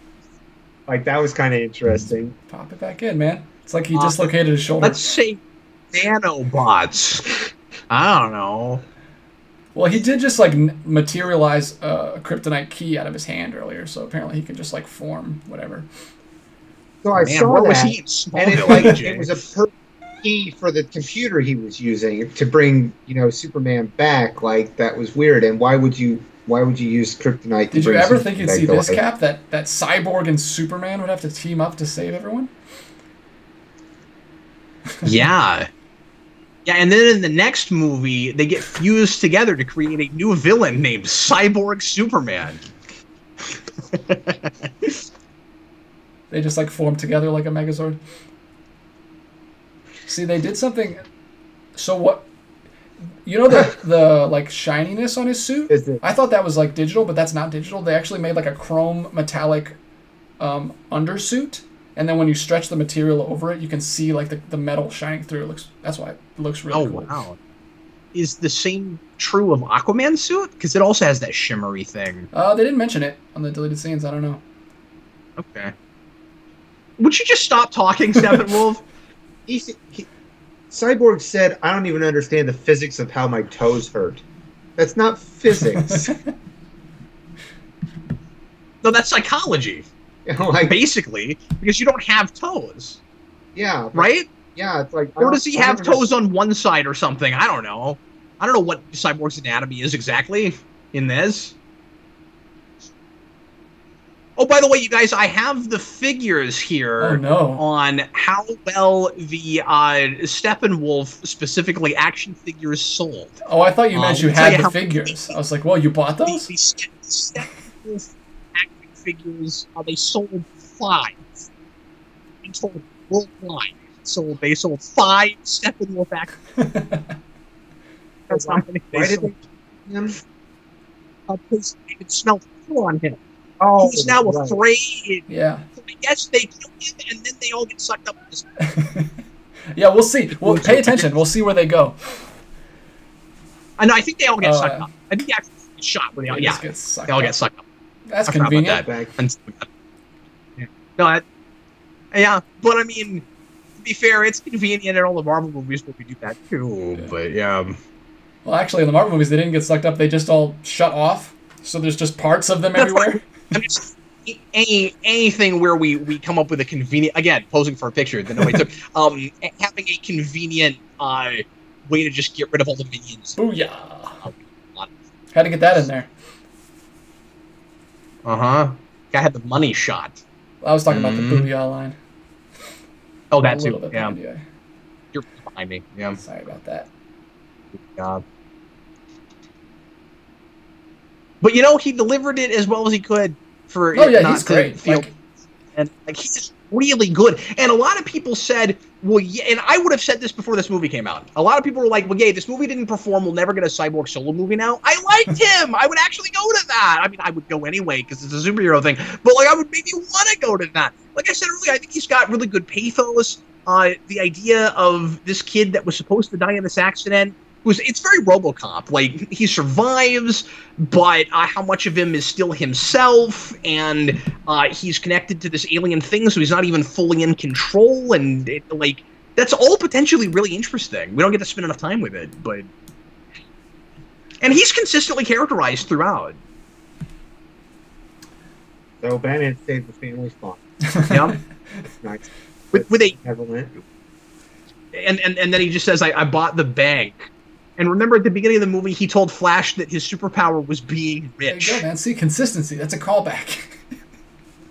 set up a bit. You know, really good storytelling. All it is is, is a good setup and payoff. Okay, watch this. Somebody tell me what I'm missing here.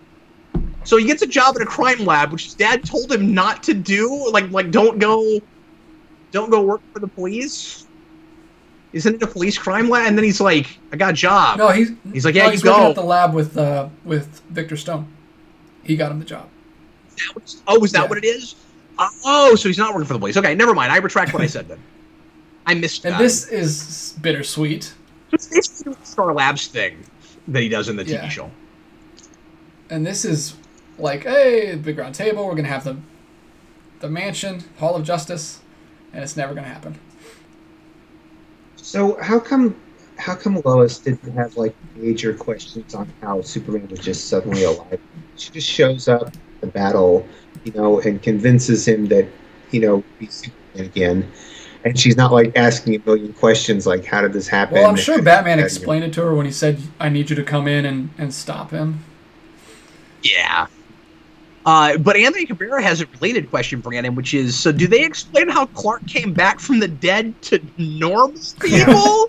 Yeah. so, to the rest of the world, it should be like I didn't even think of that. It should be like, alive. but it should be like Reign of the Superman, right? Oh. Where everybody's like, "Can we trust that's really Superman? Is Right. it really him? I don't know. Maybe it's a imposter." So this is what I was talking about earlier. Like this is the same kind of thing she did at the beginning of the movie, but it was saying that she wasn't doing anything. But she stopped that those mobsters in the bank and everything. Remember? So Yeah. I don't understand why that's different.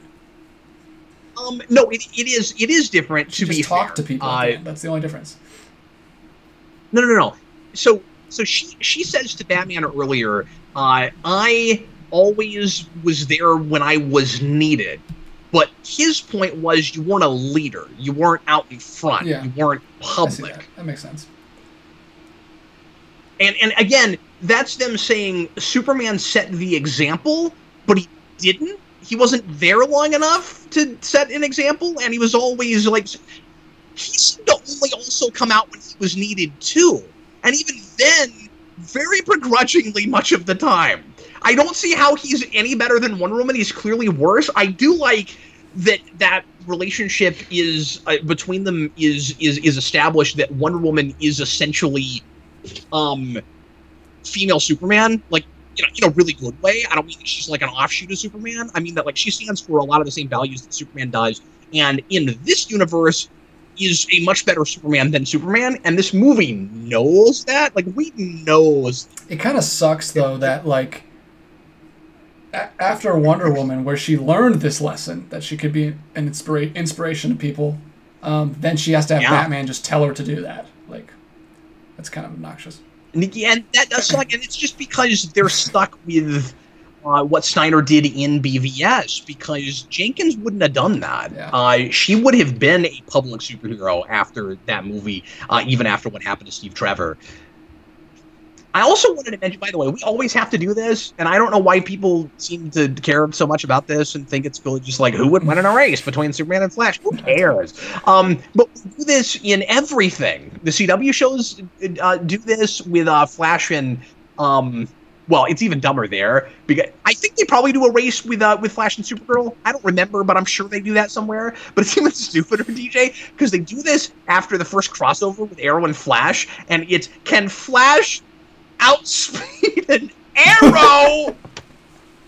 it's so dumb. But even um, even Superman the Animated Series had a really early episode where I think the first superhero crossover Superman does before you get to Justice League DJ is with the Flash, and they do an episode where Superman and Flash I have this big race, but it's not like uh, it's not like a token scene like this. It starts the episode, and it's like a, it's like a race for charity or something. It's like they put together an event, and then it's like you know who who's going to speak. Like that, I like okay, but then after that, we just keep having to do it all the time. It doesn't seem fair that Superman should be able to fly.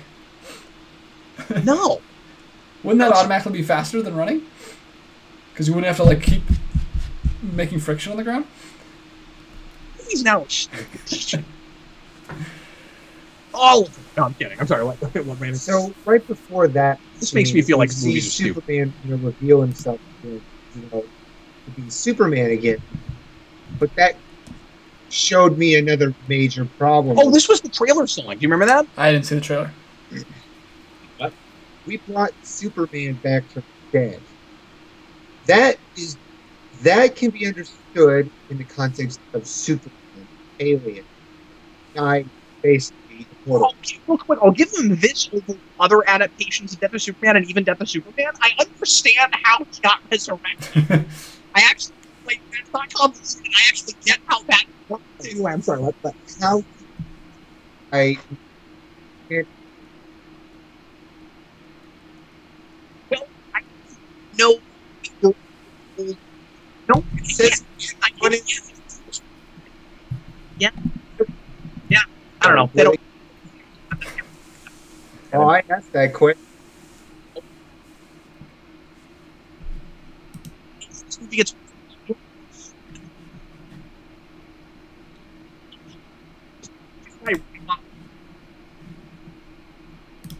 This on gets sec. Sorry, Cap. I can't hear you at all right now. You're just cutting out really bad. Don't know why. Then you're fine. I just wanted to make sure that you came back before you said some said a good point. You hear us I cannot. Yeah, Oh, I yeah, I heard that. Yeah, I guess Yeah. just keep talking. It's coming back in, in waves. Well, at least that didn't happen until we got to the credits. Yeah, it's been cutting in and out the whole time, like they've been saying, but it's uh, it, it just got really bad right there, so that's why I felt like I need to say something.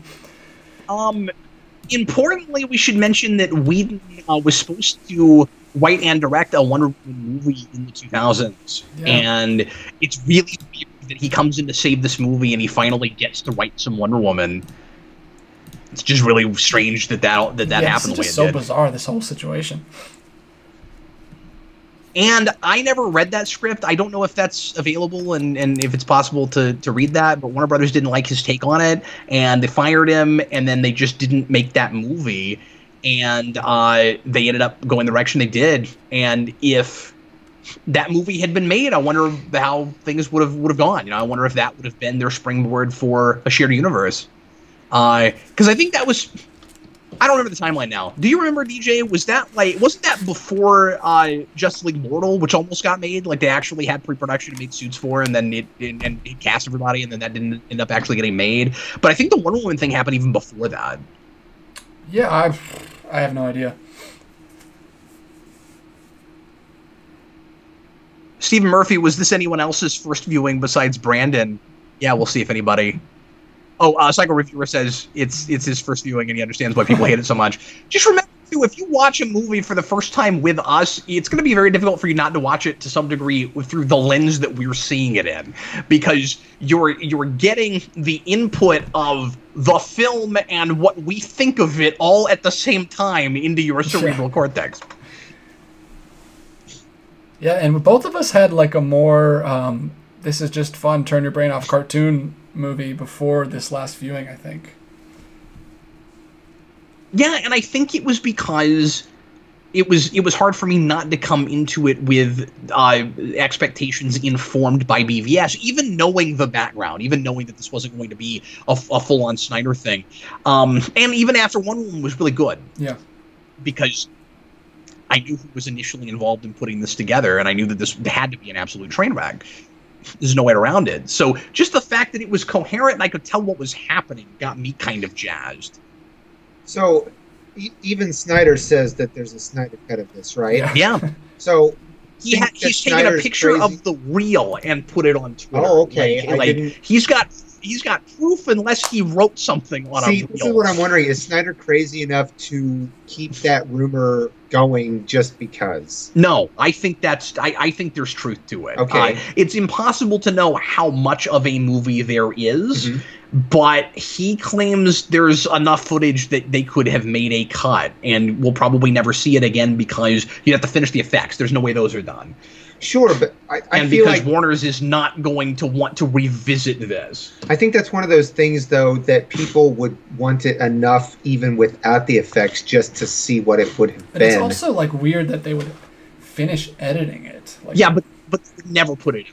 Sure. There'd be no incentive to do that, except that it would make money because so many people want to see it. I think a lot of people that hate this and and hate BVS would still want to see it because of curiosity.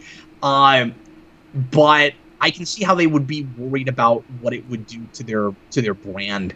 Uh, and in, in just revisiting this and like if that ever comes out, it's going to be years after we're completely beyond all of this. We would have had to completely reboot, or they would have to get out of the superhero movie making business before we would ever see that. I would think. Um, if I'm them, like I get that there's a market for it. I get supply and demand. But if I'm Warner Brothers, right after Joker makes a billion dollars, the last thing I do is put out the Snyder Cut. Okay. yeah, it's got to be a down the line like a like Superman two situation.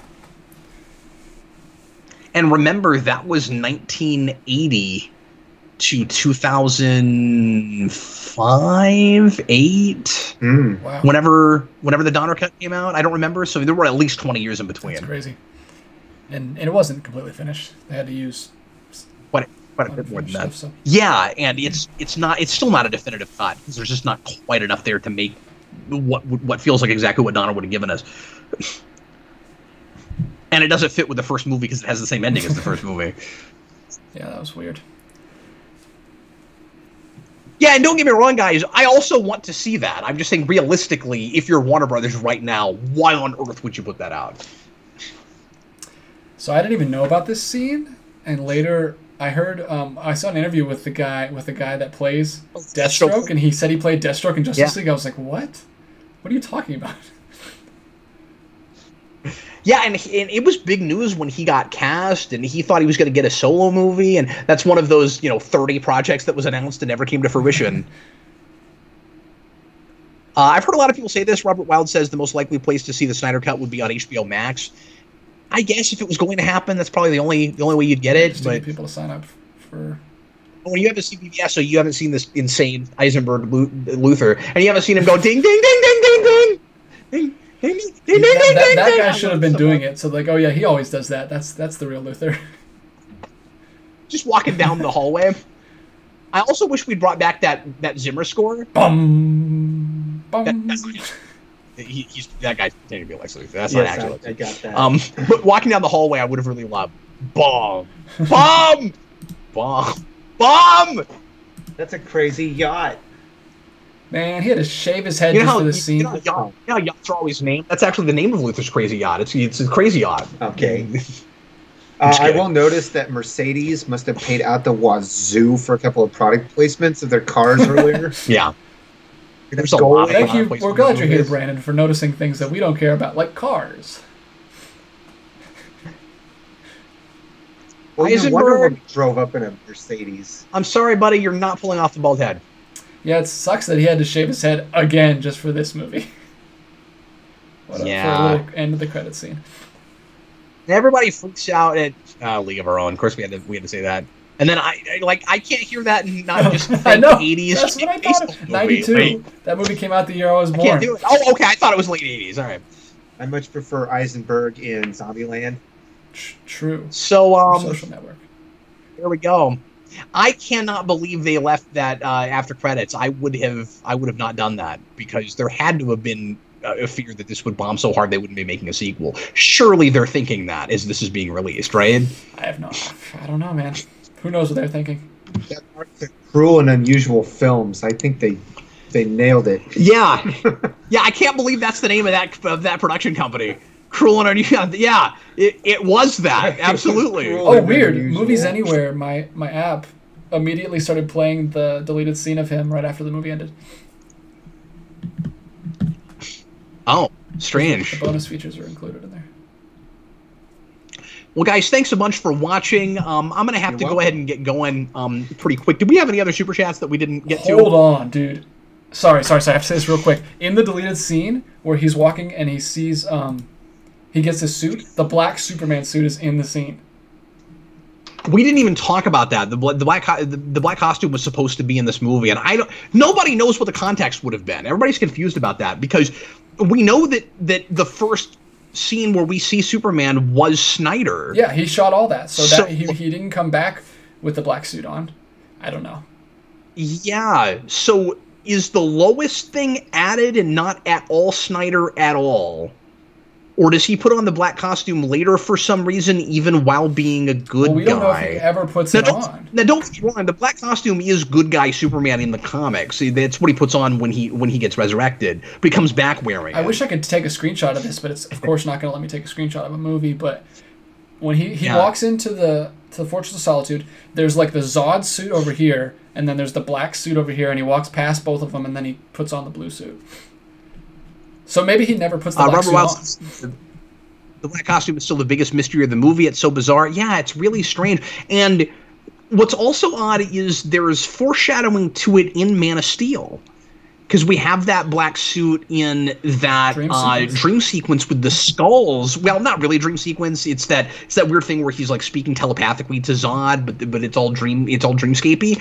Um, and then there's actually a physical. Yeah, one. watch the watch this deleted scene if you can, and it, he just walks past it. It, it. It's not doing anything. It's just sitting there, like Oh, that's like so a Power Ranger suit in the background. You know what that makes me wonder? I wonder if he was now again. I know he wouldn't have come back wearing the black costume, but it makes me wonder if if uh, the black costume was like on the Kryptonian ship, and if like in the comics, he comes back with something to do with the Kryptonian suit uh, uh, ship and not related to the mother boxes. Like I wonder if Snyder's resurrection has nothing to do with mother boxes. I don't know because he's st- well, he still comes back. Yeah, he still comes back in that same spot in Snyder's version, but we don't know. He comes back in we that don't know how, yeah. but there's but there's no mention in that scene that it was done with mother boxes, and that mother box grab at the end of that scene could have very easily Well, been a well reshoot. Cyborg was like I bet that entire the mother box at the beginning of the fight. I don't know.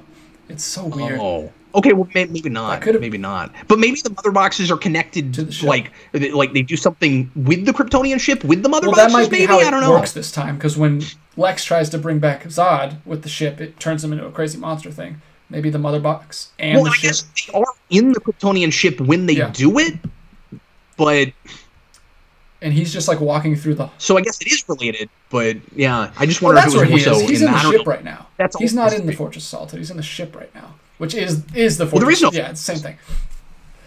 Yeah, yeah. The closest thing you get to a fortress in this is No, the I can't believe ship. that it's in this deleted scene. I can't believe I haven't seen this all over the internet. That's crazy. Mutelli wants to know if the Kryptonian embryos inside Superman also got resurrected. That's a point. Yeah, because he's got the Codex, right? Good call. Nobody was thinking about that very clearly. Yeah, does he still have that? And they just can't be activated now? I'm pretty sure there's not anything in Man of Steel that like makes it to where the Codex isn't still there. Well, anyway, we could talk about this all day, and uh, a, a whole lot of it would just be like taking a taking a math quiz that where every answer is needs more information. Anyway, well, I hope everybody had a good time watching Justice League with us as, as much as you could, and uh, I, I certainly, uh, I, I certainly enjoyed watching it with you guys more than I did on my own. I mean, I said this was even worse than the viewing I had the other day, but it was more fun watching it with you guys. So, thanks a bunch. Um, a couple other people were saying that in the comments. They're like, "Well, if I had to watch this, I'd rather do it this way." So, thanks. That's the nicest thing anybody's ever said to me. Uh, so DJ and I will be back with you again on Thursday for a Captain Logan show, and then after that, we're gonna have uh, Geekvolution After Dark, which we've not done in a few weeks uh, since I have been recovering from surgery, and Brandon will be here for After Dark, and uh, it'll be episode 99 of the Captain Logan show. So next week will be the big 100th episode, uh, the big spectacular. In which we still don't entirely know what we're doing. Although I have an idea, DJ, and I'll run that by you Ooh, a I'm little excited. bit later. Um, my, it's a really dumb Oh, idea though I'm not. but I I think it. So I'm, I'm, I'm gonna ask you about it anyway. DJ, thanks for doing this with me, yeah, buddy. sure, man. I, it was fun. Will Da- Will Dan be around for the After Dark? I don't know. I don't know. Okay. Um, he's a little bit more busy now, but but it's possible. Busy I'll, I'll ask him. I'll tell him that. I'll tell him that Brandon back up. specifically asked him. That, well, yeah, but he's also like studying for the bar exam and stuff That's like that. So I just Yeah, sent you anyway. the box. Well- screenshot. What's the more apocalypse? You guys are great. We really appreciate you, and we will see you again for more madness on Thursday. I was Captain Logan. This is Brandon of the Grims from the shadows and in the DJ of the Martinezes. I thought he was stuck. I wasn't No, told. I'm just Is he stuck? No, Bye, folks. See you guys. See you later. Bye. No, you have to push. the Correct. button, DJ.